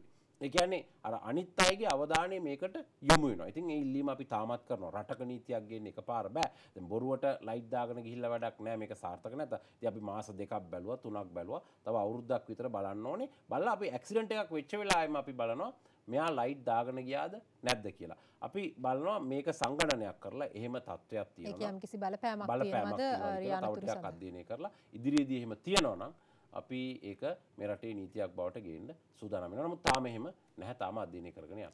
දැන් කුඩුජාවාරම් සම්බන්ධ බරපතල ප්‍රශ්නයක් අ, පහුගිය කාලේදී අ, ඇති වෙලා තිබුණා අ, මාධ්‍යවල විශාල වශයෙන් සාකච්ඡාවට ලක් වුණා.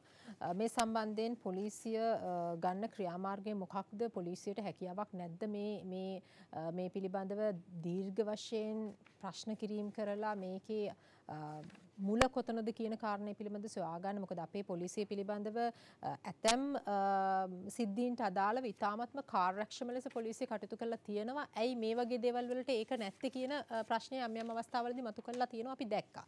මේ සම්බන්ධයෙන් ඔබතුමන්ලාගේ විමර්ශන වලට හසු වෙච්ච කාරණා මොනවද? විශේෂයෙන්ම බොදුබල සේනා සංවිධානයත් සඳහන් කරලා තිබුණා යම් යම් දේශපාලන චරිත මේවා පිටිපස්සේ ඉන්නවා. ඒ පිළිබඳව ක්‍රියාත්මක වෙන්නේ නැහැ කියලා. අ, බොදුබල සේනා සංවිධානය විසින් ඔබතුමන්ලාට මේ පිළිබඳව කරුණු ලබා දීලා තියෙනවද? ඒ සම්බන්ධව ඔබතුමන්ලා මොන වගේ විමර්ශනයක්ද කරලා තියෙන්නේ?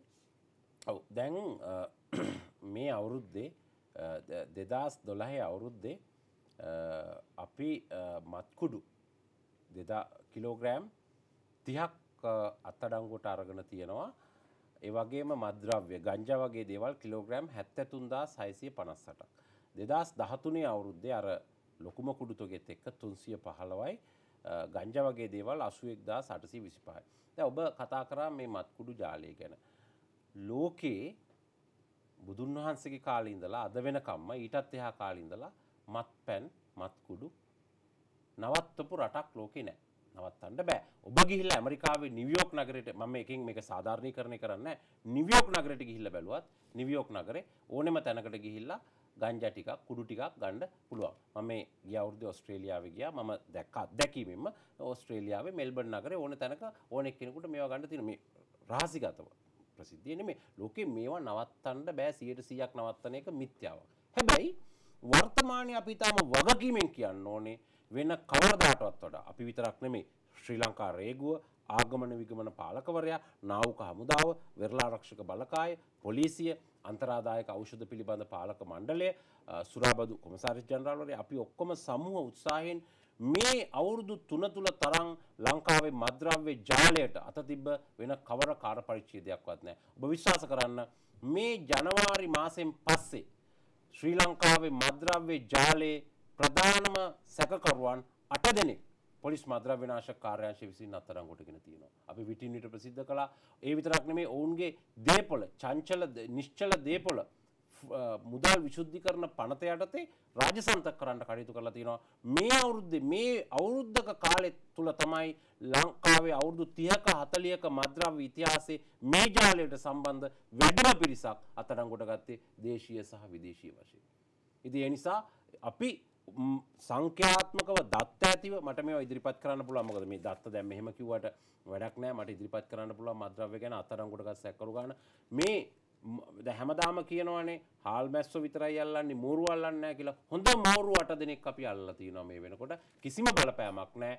ජනාධිපතිතුමා විශේෂයෙන්ම කියන්න ඕනේ රාජ්‍ය නායකයෙක් හැටියට ඉතිහාසයේ පළවෙනි වතාවට කැබිනට් අනුකාරක සභාවක් පත් කරලා මේ ටාස්ක් ෆෝස් එක කාර්ය සාධන බලකායක් පිටවන්න දැන් මාසෙක හමාරකට ඉස්සෙල්ලා අවශ්‍ය කටයුතු කරලා තියෙනවා. ඒක අපි තවත් මේ යොමු දියත් කරනවා. මෙන්න කවරදාටවත් වඩා මත්කුඩු ජාලයට අත තිබ්බේ මේ මාසායක කාලය කියන එක ඉතාම පැහැදිලිව කියන්න ඕනේ. මේ ජාවාරම්කරුවන්ට සම්බන්ධව දේශපාලන හිතවත්කම් ඔබතුමාලා ප්‍රශ්න කරලා තියෙනවද මේ මේ ජාවාරම්කරුවන්ට සම්බන්ධව මොනවා හරි දේශපාලන සම්බන්ධතා තියෙනවද? එහෙම හිතවත්කම් තියෙනවද? දැනට දැනට කරලා තියෙන ප්‍රශ්න කිරීම මත දැනට අපිට අනාවරණය වෙලා තියෙන මත එහෙම දේශපාලන සබඳකම් අනාවරණය වෙලා නැහැ. දැන් පසුගිය කාලයේදී අර විශාලතම කුඩුතොගේ ලංකාවට ආවා කියන ඒ ප්‍රවෘත්තියත් එක්ක විශේෂයෙන්ම රජයේ රජයේ පාර්ශවයන්ට විශාල වශයෙන් චෝදනා එල්ල වුණා. අග්‍රාමාත්‍යවරයාට චෝදනා එල්ල වුණා. එතනින් එහාට ප්‍රාදේශීය දේශපාලකයින්ට චෝදනා එල්ල වුණා. ඒ සම්බන්ධයෙන් ඔබතුමාලා ප්‍රශ්න කිරීමක් සිදු කරාද? මොකද මේකට අදාළව මේ ලිපිය යොමු කරපු ලේකම්වරයාගෙන් ප්‍රශ්න කිරීමක් කරලා තිබුණා. නමුත් මේකට ගෑවිච්ච නම් සඳහන් වෙලා තිබුණා සමාජය තුළ යම් යම් ස්ථානවල. එතකොට ඒ ඒ අයගෙන් ප්‍රශ්න කිරීම කළාද පොලිසිය විසින් මේ පිළිබඳව වැඩිදුර තොරතුරු සොයා ගන්න? අනිවාර්යෙන්ම අනිවාර්යෙන්ම ප්‍රශ්න කිරීම කරා ප්‍රකාශ සටහන් කරලා තියෙනවා. නමුත් දිල්ක දැන් ඕන කෙනෙකුට දැන් මම මේකෙන් මේ කවුරුත් කෙනෙක් මේකෙන් සුද්ධ කරන්නවත් මද්‍රව්‍ය වලට සම්බන්ධවත් නැහැ කියනවත් හදනවා නෙමෙයි. නමුත් නීතිය දන්න අය දන්නවා මේ 1984 අන්තරාදායක ඖෂධ සහ මද්‍රව්‍ය පිළිබඳ පනතේ සඳහන් වෙන වැරදි තියෙනවා. එකත් තමයි මත්කුඩු ළඟ තබා ගැනීම. අනිත් එක මත්කුඩු ජාවාරම. මේක තමයි ප්‍රධාන වැරද්ද එක තියෙන්නේ. තව තියෙනවා ප්‍රවාහනය කිරීම, ආනයනය කිරීම මේ වගේ කාරණා. ඉතින් මේ වරදක් අනාවරණය වෙන්න ඕනේ පුද්ගලයෙක් ගැන. ඉතින් එහෙම වරදක් අනාවරණය වෙන්නේ නැතුව කෙනෙක්ව අත්අඩංගුවට ගන්න එහෙම නැත්නම් කෙනෙක්ට බොරුවට නඩුවක් පවරන්න අපිට බෑ. ඉතින් ඒවා අපි අනාවරණය වෙච්ච හැම පුද්ගලයෙක්ම අත්අඩංගුවට අරගෙන තියෙනවා. හොඳයි අපි කෙටි විරාමයක් ලබා ගන්නවා. විරාමයෙන් අනතුරු යාලි 300ට සමගින් හමු වෙමු. ඔබ යාලිත් එක්වන්නේ 300ට සජීව සංවාදයේ සමගින් අපිට දුරකථන ඇමතුමක් තියෙනවා. අයිබෝවන්. අයිබෝවන්. ඔව්. ප්‍රශ්න යොමු කරන්න. මම පැහැදිලි වලින් කතා කරන්නේ මට අදිස්වන මාත්‍යත් එක්ක ගෙන් පොඩි ප්‍රශ්නයක් කතා කරන්න තියෙනවා. මොකද මේ පැහැදිලි නගරේ ඉන්න ඉන්නම මේ මද්ද්‍රව්‍ය විශාල වශයෙන් තියෙනවා. පෙර ඉතින් මේ ගැන පැහැදිලිකට පොලිසියෙන් නැත්නම් ඒ තරම් නම්තුවක් කරන්නේ නැහැ. මේ ගැන ඒගොල්ලොත් එයාලගේ පාඩුවේ එනවා එනවා යනවා මටත් දරුවෙක් ඉන්නවා ඉතින් මාත් හැමතිස්සෙම බයෙන් තමයි ඉන්නේ මගේ දරුවත් ඔය මොකටද මේකට හැබැයි වෙලා මගේ දරුවත් නාස්ති වෙයි කියන බයෙන් මොකද මම දැන් අවුරුදු නවයක් තියෙනවා මට මහත්තයා ඉන්නවා ඉන්නේ එයාත් මේ ඒ මද්ද්‍රව්‍ය පාවිච්චි කරන ඉන්න. මගේ දරුවෝ වැත්තට මම ඒක පැත්තට දැන් අද ජීවත් වෙන්නේ. ඉතින් මේ මම කියන්නේ මේ ගැන කරුණා කරලා මේ ගැන හොයලා බලන්න ගොඩක් තරුණ ඊට මේ ප්‍රශ්නින්ද අවියට දරුවන්ගේ අම්මලා දුක් වෙනවා. ඉතින් මම ඔබතුමාගෙන් ඉතා ආමික වේදනාවෙන් මේ ගැන ඔයලා බලන්නේ මේ පෑලියු පොලිස් නිලධාරීන් මේ ගැන හොයන්නේ නැත්තේ. දැන් මේ අභිෂේකත් අපිට ඒගොල්ලන්ට තොරතුරක් දෙන්න විදිහකුත් නැහැ. ඒගොල්ලෝ ඒ පිළිබඳව පුදු මුදලාලිලාට දන්නවා. ඉතින් කතා කරන්නෙත් හරි බයයි. මොකද කුස්ති වල ටිකක් කන තියෙන හින්දා. ඉතින් මම ඉල්ලන එකම දේ තමයි මේ මේ තියෙන මේ මත්ද්‍රව්‍ය මේ සලහටින් පොඩ්ඩක් ඔයලා බලලා ඒ ගැන හොඳ විශ්ලේෂණයක් ලබා දෙන්න කියලා තමයි ඔබතුමාගෙන් ඉල්ලන්නේ. බොහොම ස්තුතියි. එතුමිය සඳහන් කරපු කාරණේ විශේෂම පෑලියගොඩ පොලිසියට එතුමිය චෝදනාවක් එල්ල කරනවා සහ මීගමුවේ මේ මද්‍රව්‍ය ජාලයක් ක්‍රියාත්මක වෙනවා කියන කාරණය පිළිබඳ සඳහන් කරනවා. අපිත් අද දෙරණින් මේ පිළිබඳව යම් යම් අවස්ථාවල් වලදී කරුණු අනාවරණය කළා. දැන් මේ මේ මේ මේ ප්‍රශ්නවලට මුහුණ දීපු ජනතාව, මුහුණ දෙන ජනතාව. දැන් ඒ අයගේ ගැටලුව ඇයි මේකට පොලිසිය ක්‍රියාත්මක වෙන්නේ නැත්තේ? එතකොට පොලිසිය පිළිබඳ ඇතිවෙන්නේ අප්‍රසාදයක්. පොලිසිය පිළිබඳ කිසි විශ්වාසයකින් නෙමෙයි මේ මේ අය මේ කතා කරන දේවල් වලින් අපිට පැහැදිලි වෙන්නේ. ඔව ඇතරම එතුමිය කිව්ව ප්‍රශ්නය ගැන මම හෙට දිනම අවධානය යොමු කරන්නම්. නමුත් ඉතින් මෙහෙම එකක් අපි කියන්න ඕන දැන් ඇත්ත. දැ මත්කුඩු මේ කියන ආකාරයට තැන්තැන්වල තියෙනවා. අපි දන්නවා. නොත් ප්‍රශ්න තියෙන්නේ දැන් මේ මත්කුඩු ජාවාරම්කරුත් ඉතාම සූක්ෂම විදිර තමයි මේ කරන දැ මටත් එක්තර පුද්ගලේ දුරකතන ඇමතුම හැමදාම දුරකතන ඇමතුම් පහයක් මටේනවා. ඒ ආපුහම යම් කිසි අයගේ නං කියලා මෙහෙම. නම දැන් ඒ තැන්වලට අපි ගිහිල්ලා බල බැලුවහම මත්කුඩු නැහැ. දැන් අපිට කෙනෙක්ව අත්තඩංගුවට ගණ්ඩ මත්කුඩු ළඟ තියෙන්න ඕන. එම නැතු නිකම් මිනිස්සු ගේන්න බෑන. එතකොටත් ආයිතේ වගේම ගහයි අහිංසක මිනිහ කතරගොඩ ගත්තා කියලා රාත්‍රී අටට ඊට පස්සේ යාගෙත් වොයිස් කට් එකක් අරගෙන එහෙම නේද? ඊට පස්සේ ඔහු දවස් 14ක් තියාගත්තා වගේ රටේ නැති නමුත් අපි දන්නවා මේ ජාවාරම් කරුවොත් ඉතාම සූක්ෂම. ඉතින් ඒ සූක්ෂම ජාවාරම් කරුවන්ගේ ඒවා හොයාගන්න එක අපේ වගකීමක් යුතුයකමක් ඒක ඇත්ත. ඉතින් අපේ අපේ පැත්තේ යම්කිසි මේ වගේ මම විශ්වාස කරන්නේ පෑලියගොඩ පොලිසිය හිතාමතා මේක මගහරිනවා කියලා. ඉතාම රාජකාරි බහුලත්වයත් එක්ක මේ වගේ මගහැරලා ඇති. වගේ මද්‍රව්‍ය ජාවාරම්කරුවොත් හැමවෙලේම බලන්නේ අද එක තැනක හෙට තව තැනක තියාගෙන කුඩු පැකට් දෙක තුනක් ගෙනල්ලා විකුණන්න. නමුත් මේ එතුමිය කිව්ව කාරණේ මම දැඩි අවධානයට යොමු කරනවා ඒ ප්‍රදේශ භාර ඉහළ නිලධාරීන්ගේ. දැන් අනිත් කාරණය තමයි දැන් එතුමියගේ මේ මේ මේ කියපු කාරණයක් එක්ක පොලිසිය පිළිබඳ තියෙන ප්‍රසාදය. දැන් උදාහරණයක් විදිහට බොහෝ දෙනෙක් ට්‍රැෆික් පොලිසිය ගැන තියෙන්නේ විශාල අප්‍රසාදයක්. ඒ වගේම මේ වගේ පුංචි පුංචි කාරණා සම්බන්ධයෙන් පැමිණිලි කරන්න පොලිසියට යන අවස්ථාවලදී එතන ඇතිවෙන සිද්ධිත් එක්කත් තියෙන්නේ අප්‍රසාදයක්.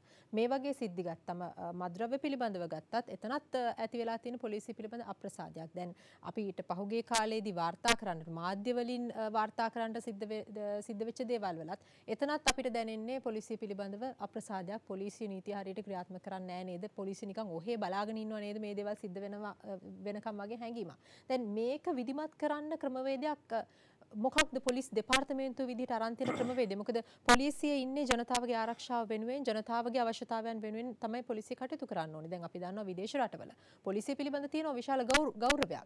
හමුදාව ත්‍රිවිධ හමුදාව එන්නේ සිවිල් කටයුතු වලට බොහොම අඩුවෙන්. හැබැයි අපේ රටේ අපි හැම දෙයකටම හමුදාව පිහිට තමයි බලාපොරොත්තු වෙන්නේ පොලිසිය පිහිට අපි දෙවෙනියට බලාපොරොත්තු වෙන්නේ. එහෙම තත්ත්වයක් මානසිකත්වයක් ඇති වෙලා තියෙනවා. මේක නිවැරදි කරන්න මේක වෙනස් කරන්න. කියන්න දිල් දිල්කා දැන් මොක ඇයි ට්‍රෆික් පොලිසියට මිනිස්සු තරහ ඇයි පොලිසිය තරහ? මොකද හේතුව?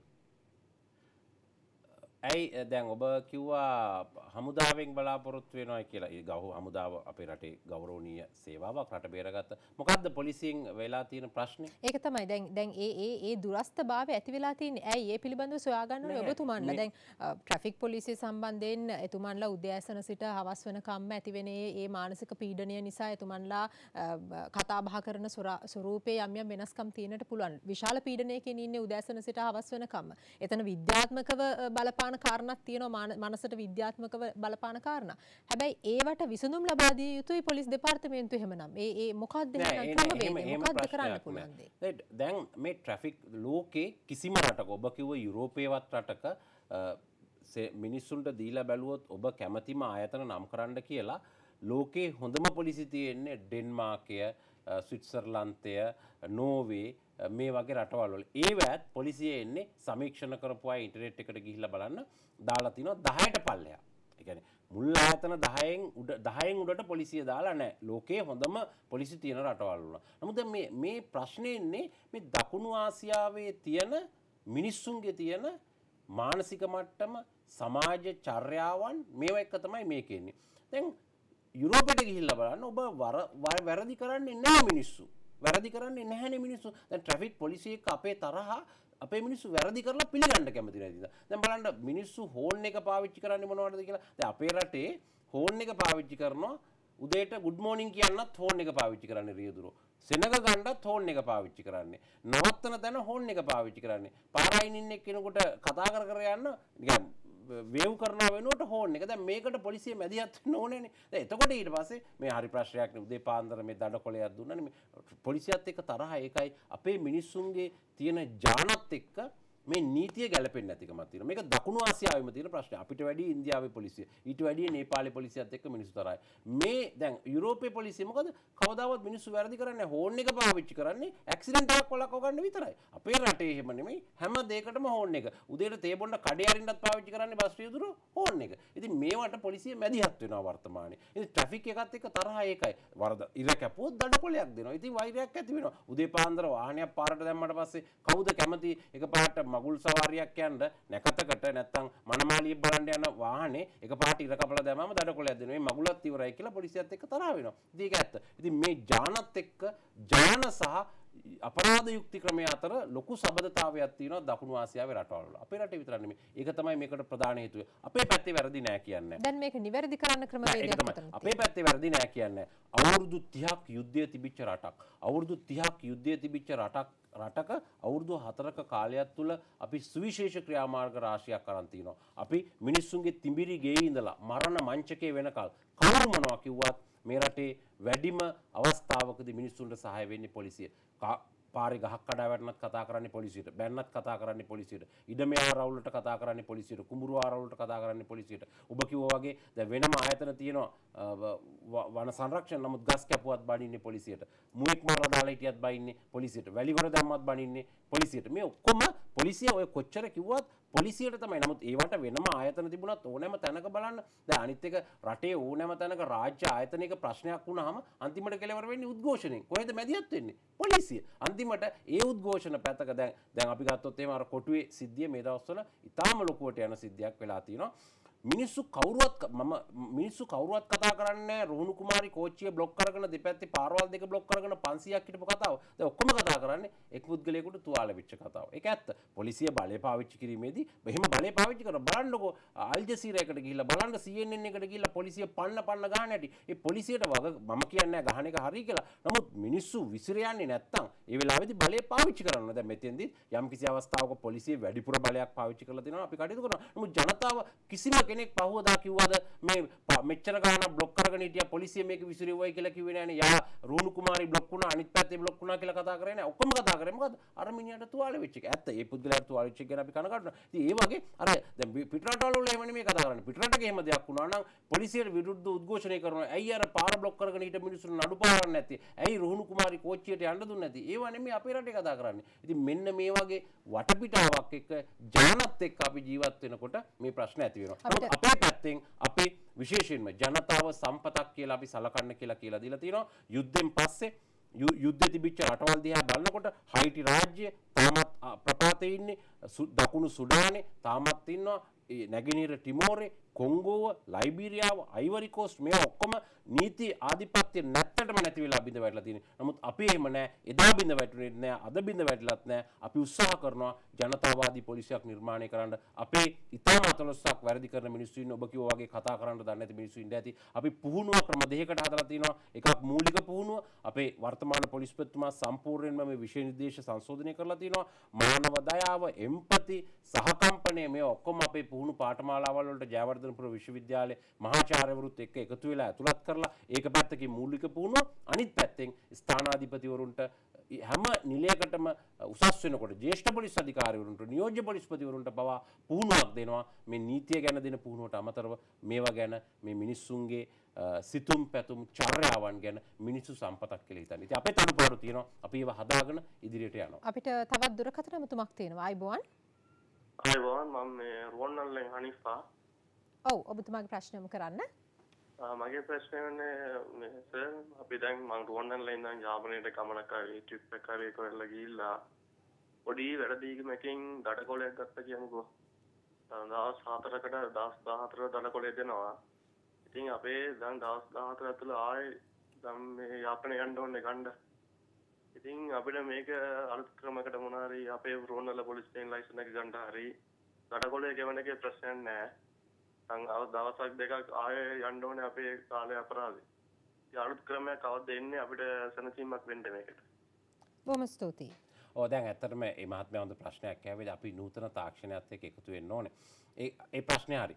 සිකුරාදා දවසක හවස 6ට විතර යාපනයේදී අහු වුණොත් ඉර කැපුවා කියන්නකො දඩකොලයක් දෙනවා. දඩකොලේ දුන්නාම එයා සිකුරාදා රෑ හිටියා සෙනසුරාදා හිටියා සඳුදා කොළඹෙන්න ඕනේ එනවා. දැන් ගෙවන්න විදියක් නැහැ. තැපැල් කන්තෝරු වහලා කච්චේරි වහලා සෙනසුරාදා දවසත් පොය දවසක් වැටෙනවා කියන්නකො ගෙවන්න විදියක් නැහැ. කොළඹ ඇවිල්ලා ගෙවලා රුපියල් 500 ගෙවලා ආපහු ලයිෂන් එක ගන්න යාපනය යන්න ඕනේ. මේක ලොකු ප්‍රශ්නයක්. අපි අඳුනගෙන තියෙනවා. අ, ඊටාම අ, නොබෝ දිනකින් සමහරට මේ අවුරුද්ද ඇතුලේ නැත්නම් ලබන අවුරුද්දේ මුල් 6 මාස තුල අපි මේ ජංගම දුරකථන හරහා දඩ ගෙවීමේ ක්‍රමවේදයක් හඳුන්ලා දෙනවා. එතකොට ඒ වෙලාවේ අ, දඩේ අ, ගෑ- අ, දඩකොලයක් ගත්තොත් ඒ වෙලාවෙම දඩේ ගෙවලා විනාඩි 10ක් 15ක් ඇතුළත ලයිසන් එක අරගෙන එන්න පුළුවන්. ඉතින් සල්ලි තියන අයට ඕන නම් ඒ වගේ දඩකොල 10ක් 15ක් දීගෙන ලයිසන් එකත් ඒ වෙලාවෙම අරගෙන එන්න පුළුවන්. ක්‍රිය වැරදි කරනවා නම් නොකරොත් කිසි ප්‍රශ්නයක් නැතුව එන්නත් පුළුවන්. තවත් අ, ඔකත් එක්කම ඇති වෙන අ, තවත් ප්‍රශ්නයක් තමයි දඩකොල අ, මාර්ග නීති කඩකිරීම සම්බන්ධයෙන් අ, දඩකොල ලියනකොට පොලිස් නිලධාරීන්ට එල්ලවෙන චෝදනාවක් පොලිසිය හැංගිලා ඉන්නේ අ, දඩකොල දෙන්න. ඇයි පොලිසිය හැංගෙනද? මොකද පොලිසිය අවශ්‍ය වෙන්නේ මාර්ග නීති කඩ කරන එක වළක්ව ගන්න. පොලිසිය හැංගිලා ඉන්නකොට රියදුරා මාර්ග නීතිය කඩ කරනවා. කඩ කරලා ඊට පස්සේ වැරද්ද කරන්න දීලා පොලිසියෙන් අ, දඩකොලේ ලියනවා. දැන් මේක පිළිබඳවත් යම්කිසි චෝදනාවක් තියෙනවා පොලිසියට. ඇයි හැංගිලා ඉන්නේ කියලා. හරි. හොඳයි අපි හිතමු පාරේ හිටියයි කියලා. පාරේ හිටියයි කියලා හිතන්නකෝ. පාරේ හිටියාම කොළඹින්දලා මාතරට තියෙනවා කිලෝමීටර් 160ක්. දැන් පාරේ පේන්න ඉන්නවා. ඉන්නකොට ඇත්ත. රියදුරෝ වැරදි කරන්නේ නැහැ. හරි. අපි හිතමු කිලෝමීටරයකට අපිට පේන්න පේන්න ඉන්නවා. එතකොට දැන් දැන් අපි හැංගිලා හිටියේ නැතුව පේන්න හිටියොත් අපි දා හැංගිලා ඉන්නේ නැත්තම් රියදුරෝ දන්නවා මෙතන විතරයි ඉන්නේ. අනිත් තැන් වල නැහැ. එතකොට ජංගම දුරකථනයේ කණේ ගහගෙන යයි 80ටයයි 90ටයයි 100ටයයි බීලයයි. එතකොට මිනිස්සු නැ- නැති වෙයි. නමුත් අපි පාරට දාන්න ගියොත් මේ කිලෝමීටර 160ට කොළඹ ඉඳලා දානවා නම් කිලෝමීටරයකට අපි ගමු මීටර් 200කට එක්කෙනෙක් දැම්ම කියලා. එතකොට කිලෝමීටරයකට ඕනේ 5 දෙනෙක්. හරිද? එතකොට කිලෝමීටර් 100කට ඕනේ 500. ඒ කියන්නේ පොලිස් දෙපාර්තමේන්තුව තීරණය කරලාද තියෙන්නේ මේ පොලිස් නිලධාරීන් හැංගිලා ඉඳගෙන නෑ, නෑ, නෑ. අල්ලන්න නෑ, ඕනේ. ඒක තමයි. එතකොට අපි ගත්තොත් එහෙම මාතරට කිලෝමීටර් 160කට යනකොට සාමාන්‍යයෙන් අපිට ඕනේ 800ක් විතර එක දිගට දාන්න. අන්න එතකොට එහෙම 800ක් විතර දැම්මොත් එහෙම පුළුවන් මේක නවත්ත ගන්න. එතකොට ඒ ඒ පැය 8කටනේ. දැන් සාමාන්‍යයෙන් දවසම ඕන නම් එතකොට 800 ඒවා තුනක් දාන්න ඕනේ අපිට සාමාන්‍යයෙන් මාතර පාරට විතරක් අපට දෙදා සාරසියක් විතර දාන්න ඕන ලංකාවේ කිලෝමිට දොළොස් දහත් තියෙනවා නම් මේ වගේ ප්‍රධාන මාර්ග හරිද ඉතින් එතකොට සාමාන්‍යයෙන් ලක්ෂයක් විතර දවසකට මේ දැන් ඔය ඔය ඔය. ඔය ඉන්න පොලිස් නිලධාරීන් ඉන්නෙම ස්ථානගත වෙලා ඉන්නෙම මේ මේ වැරදි කරන්න පුළුවන් කියලා හිතන ස්ථානවල තමයි. ස්ථානගත වෙලා ඉන්නේ. එතකොට ඒ ඉන්න එක පේන්න ඉන්න දැන් පේන්න ඉන්නකොට දැන් පේන්න නොහිටින තැන්වලදී මේගොල්ලෝ ගිහිල්ලා ඇක්සිඩන්ට් කරගන්න ඕනේ. දැන් මේක අපේ රටේ විතරක් නෙමෙයි ලෝකේ හැම අපිට පුළුවන් අපි මේ උපක්‍රමයක් භාවිතා කරන්නේ. එතකොට රියදුරා දන්නේ නෑ පොලිස් නිලධාරියා කොහෙද ඉන්නේ කියලා පාරේ දිගටම ඔහු බොන්න නැතුව යයි ෆෝන් එක කඩේ ඇයි කොහෙ ඉන්නවද කියලා දන්නේ නැහනේ. කොහෙ ඉන්නවද සිග්නල් කණුව ගාවදී ලස්සනට නවත්තලා යයි. නමුත් අපිට ලක්ෂ දෙක තුනක් එහෙම අපේ රටේ නෙමෙයි ලෝකේ කොහේ රටකටවත් නෑ අපේ 84000 ඉන්නේ. ඉතින් අර විදිහට 12000යි 12000ට 36000ක් ඕනේ. ඒ වගේ 150000ක් විතර ඉන්නවා නම් ඔය කියන ජොබ් එක කරන්න පුළුවන්. ඉතින් එහෙම කරන්න ආර්ථික වශයෙන් අපිට ශක්තියකුත් නෑ. එහෙම නිලධාරි බඳව ගන්න. එහෙම ට්‍රැෆික් වලට අවශ්‍යද. නමුත් පිට රටවල් වල එහෙම නෙමෙයි. පිට රටවල් වල තාක්ෂණයේ දියුණුයි. අපි තාම දියුණු වෙන රටක් කැමරා වලින් ඔක්කොම මොනිටර් වෙලා තියෙන්නේ. ඉතින් ඒගොල්ලෝ දඩකොලේ ගෙදෙට්ට එනවා. අපිත් කවදා හරි දවසක ඒ තත්ත්වයට යයි. ඉතින් එතකල් අපි මේක උපක්‍රමයක් විදිහට භාවිතා කරනවා. ඒ භාවිතා කරන්නේ පොලිස් නිලධාරීන්ගේ පුද්ගලික ලාභයකට නෙමෙයි. ඒ භාවිතා කරන්නේ ඇක්සිඩන්ට් අඩු කරලා, මරණ අඩු කරලා, අබ්බඝාතය අඩු කරලා රියදුරෝ හරියට මාර්ග නීති වල ගමන් කරනවා. ආගමික පැමිණිලි සඳහා වෙනම පොලිස් ඒකකයක් අ, ස්ථාපනය කරලා තියෙනවා දැන් අ, මේ පහුගිය කාලේ ඇතිවෙච්ච තත්ත්වයක් එක්ක. දුරදිග හිතුවතින් අ, මේ පොලිස් ඒකකය අ, ගැලපෙනවද ආගමික අ, ගැටුම් අ, සම්බන්ධයෙන් වෙනම පොලිස් ඒකකයක් අ, පත් කිරීම අ, සුදුසුද සහ ඒ වගේ එකකයක් වෙනම පත් කරලා තියෙන්නේ දැන් පවතින පොලිසියෙන් ඒක හරියට සිද්ධ වෙන්නේ නැහැ කියන අදහසින්ද නෑ දැන් මේ මේක බොහෝ අවස්ථාවලදී වැරදි විදියට අර්ථ නිරූපණය වෙලා තිබුණා දිල්කා. දැන් මේක එක සමහර අය ප්‍රකාශ කළ තිබුණා මේක ආණ්ඩු ක්‍රම ව්‍යවස්ථාවට පටහැනි කියලා. මොකද මේ මේ වෙනම නීති නෑ මේකේ වෙනම නීතියක් නෑ. අපේ අ, පොලිස් ආඥා පනතේ 56 වෙනි වගන්තිය තිය තමයි පොලිස් නිලධාරිගේ යුතුයකම තියෙන්නේ. පොලිස් සේවයේ පිහිටලා තියෙන්නේ පොලිස් ආඥා පනත අනුව. ඒ වගේම 1979 අංක 15 දරන අපරාධ නඩු විධාන සංග්‍රහය අනුව පොලිස් නිලධාරිගේ විමර්ශන බලතල තියෙනවා. දැන් මේ දෙක තමයි කොහෙ ගියත් තියෙන්නේ. මේක තියෙන්නේ අර පිහිටවපු තැන. දැන් බලන්න ජාතික ළමා ආරක්ෂණ අධිකාරිය අපේ වෙනම පොලිස් ඒකකයක් තියෙනවා. මොනවටද තියෙන්නේ ළමයින්ගේ කටයුතු ගැන හොයලා බලන්න. පුරාවිද්‍යා ජනරාල්තුමාගේ කාර්යාලය තියෙනවා පුරාවස්තු ආරක්ෂකන පොලිස් ඒකකයක් තියෙනවා. ඒ ගැන හොයලා බලන්න. එතකොට විදේශ සේවා නියුක්ති කාර්යාංශය තියෙනවා. ඒ රවටල රටාරණ ඒවා ගැන එහෙම තියෙනවා නම් ඒවා හොයා බලන්න. මධ්‍යම පරිසර අධිකාරිය පොලිස් ඒකකයක් තියෙනවා. පරිසර කටයුතු ගැන හොයලා බලන්න. ඉතින් මේ ආගමික කටයුතු අමාත්‍යාංශ මේ ඒකකයේ පිහිටෙව්වෙත් ඒ කටයුතු ගැන හොයලා බලන්න නැතුව එහෙම කියලා මේ පොලිස් ආඥා පනතේ 56 වගන්තියයි අපරාධ නඩු විධාන සංග්‍රහයේ තියෙන බලතලයි මේවා කොහෙ ගියත් එකයි. මේක වෙනම නීතියක් නෙමෙයි. එකම දේ තියෙන්නේ අරව පිහිටෙවුවා වගේම මේක පිහිටවලා තියෙන්නේ බෞද්ධ හා ආගමික කටයුතු අමාත්‍යාංශය තමයි යම්කිසි ආගමික සිද්ධාස්ථාන පිළිබඳ ප්‍රශ්නයක් ඇති වුණොත් තීරණ ගන්න. ඉතින් ඒගොල්ලෝ එක්ක සම්බන්ධ වෙලා කරන්නේ නැත්නම් අපිට ඔක ඔක ඕනනම් ඊට එහා වෙන බිල්ඩින් එකක දාන්න පුළුවන්. ඊට අල්ලපු එකේ දාන්නත් පුළුවන්. එතකොට කවුරුත් කියන එකක් නැහැ. ඔහම දෙගොල්ලෝ අර හදිසියෙ එක තැනකට යන්න. එතකොට එක පැත්තකින් සාමය කඩ වුණොත් පොලිසිය මැදිහත් වෙනවා. තව පැත්තකින් කිව්වොත් මෙතන පල්ලියක් තියෙනවා, මෙතන පන්සලක් තියෙනවා. දැන් මේක අයින් කරගන්න කියන ඒ තීරණේ ඒගොල්ලෝ දෙයි. ඉතින් ඒක ඉතින් මේකේ අරමුණ දැන් මේක දිහා බලන්න එපා. රිනාත්මකව බලන්න ධනාත්මකව මේක අපේ එකම අරමුණ වෙන්නේ ආගමික ගැටුම් මේ රටේ අපි අවුරුදු 30ක් යුද්ධයක් තිබිච්ච රටක් මේ රටේ ජාතීන් අතර අසමගිය ඇති වෙලා දෙමළ සිංහල කියලා ભેද ඇති වෙලා මේක විනාශ කරන්න ප්‍රභාකරන් උත්සාහ කරා ඩයස්පෝරාවක් ඉන්නවා දැන් ජාත්‍යන්තර බලවේග වලට ඕනේ කරනවා මෙහෙම කරන්න බෑ දැන් සිංහල දෙමළ කවදාවත් බෙදෙන්නේ නැහැ දැන් ආගම් වලින් බෙදලා මේ අපි අතර තව ප්‍රශ්නයක් ඇති කරලා ඩයස්පෝරාවට මේ රට තුල යමක් කරන්න. ඉතින් ඒක නවත්තන්න ගත්ත සද්භාවයෙන් ගත්ත උත්සාහයක් තමයි මේක තුල තියෙන්නේ. නැත්තම් මේ නීතිය කිසිම ආකාරයක මෙතන ප්‍රශ්නයක් ඇති වෙලා නැහැ. අර පුරාවස්තු ආරක්ෂණ කොට්ටාශ පීඨය වගේම එකම බලතල සම්බන්ධීකරණයෙන් කටයුතු කරන එක තමයි මේක තියෙන්නේ. දැන් ওই දේවල් අතරේ කැබිනට් අමාත්‍යවරයෙක් වෙච්ච පාටලී චම්පික රණවක අමාත්‍යතුමා සඳහන් කරලා තිබුණා නීති පැනෙව්වට ලංකාව ඇතුලේ නීති ක්‍රියාත්මක වෙන්නේ නැහැ කියලා. ඒක ඒක කනගාටුදායක තත්වයක් කියලා. දැන් එතුමා රජයේ අමාත්‍යවරයෙක්. දැන් මේ වගේ ප්‍රකාශයක් කිරීම තුළ අපිත් එක්ක මහජනතාවත් එක්ක ළඟින්ම ඉන්න නීති ක්‍රියාත්මක කරන ආයතන විදිහට පොලිසිය පොලිසිය කෙරේ තමයි වැඩි අවධානයක් යොමු වෙන්නේ. එතකොට මේ ප්‍රකාශය බරපතල චෝදනාවක් මේක ඇතුලේ තියෙනවා.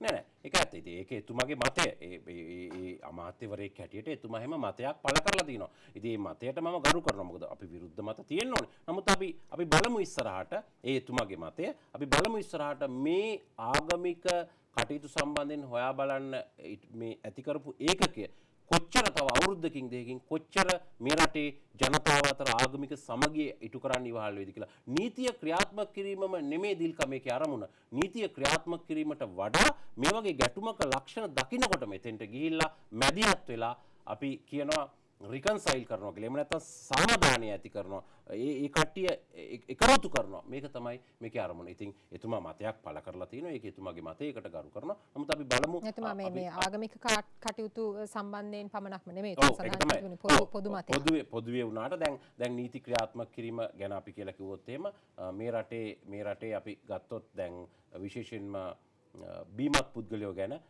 ඩ්‍රයිවිං ලයිෂන් එක සස්පෙන්ඩ් කරන එක ගැන බලන්න ඩ්‍රයිවිං ලයිෂන් එක අත්තිටෝන එක ගැන. ඩ්‍රයිවිං ලයිෂන් එක අවලං කරන.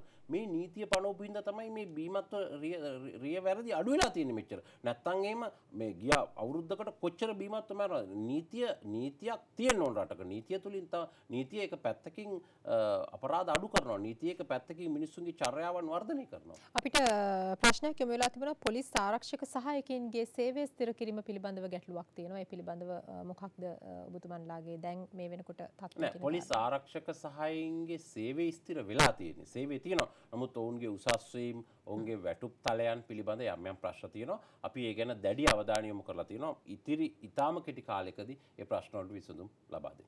පොලිසියට දේශපාලකයින්ගෙන් එල්ල වෙන බලපෑම් පිළිබඳව අවධානය යොමු කරමින් පහුගිය කාලය තුළ පොලිස් කොමිසම පිළිබඳව අ, වැඩි දිනෙක කතා කරා ස්වාධීනව අ, කටයුතු කිරීමේ හැකියාව වැඩිදුරටත් ස්වාධීනව කටයුතු කිරීමේ හැකියාව පවතිනවා කියලා එවැනි තත්ත්වයක් තුළ ඔබතුමා අ, නිලධාරියෙක් විදිහට පොලිස් සේවයේ නියැලිලා ඉන්න කෙනෙක් විදිහට මේ මේ කාරණා පිළිබඳව දකින්නේ මොකද්ද?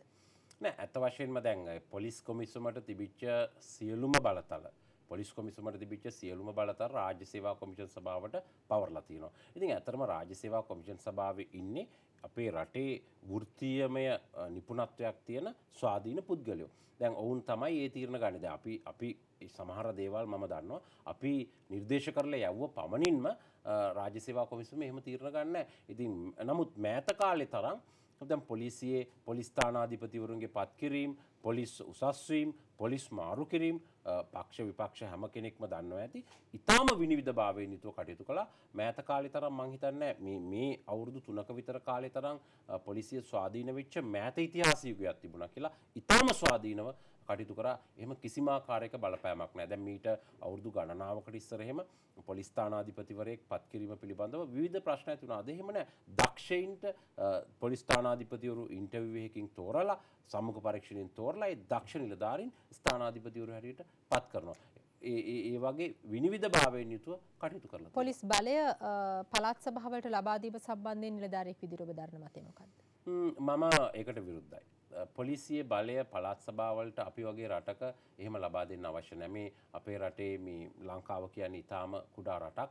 අ, මේ වගේ අවස්ථාවක ලබා දුන්නොත් අන්තවාදීන්ට එහෙමත් නැත්නම් අ, බ- මේ රට බෙදාවෙන් කරන්න යම්කිසි කාට කවුරු හරි උත්සාහ කරනවා නම් ඒගොල්ලන්ට මේක ඊටාම හොඳ පිටුවහලක් වෙනවා. මොකද බ- ඒ ඒ තුලින් අ, තව නිර්මාණය වෙනවා අ, මොකද රටක නීතිය ක්‍රියාත්මක කරන ආයතනයේ පොලිසියනේ. එතකොට යම් පිරිසක් අ, ත්‍රස්තවාදී ක්‍රියා කරනවා නම් යම් පිරිසක් රජයට රජය කියන්නේ මේ තියෙන පක්ෂයට නෙමෙයි මොනවා හරි රජයකට විරුද්ධව කටයුතු කරනවා නම් රට බෙදන්න උත්සාහ කරනවා නම් රටේ අ, අසමගිය ඇති කරන්න උත්සාහ කරනවා නම් නීතිය ක්‍රියාත්මක කිරීම වළක්වන්න පුළුවන් අ, යම් කෙනෙකුට උමනාන විශේෂයෙන්ම අ, ඒ අ, ජාතිවාදයක් ඇති කරවන්න පුළුවන් පොලිසිය පළාත් සභා මට්ටමට ගියොත් නීතිය ක්‍රියාත්මක කිරීම වැළකීලා.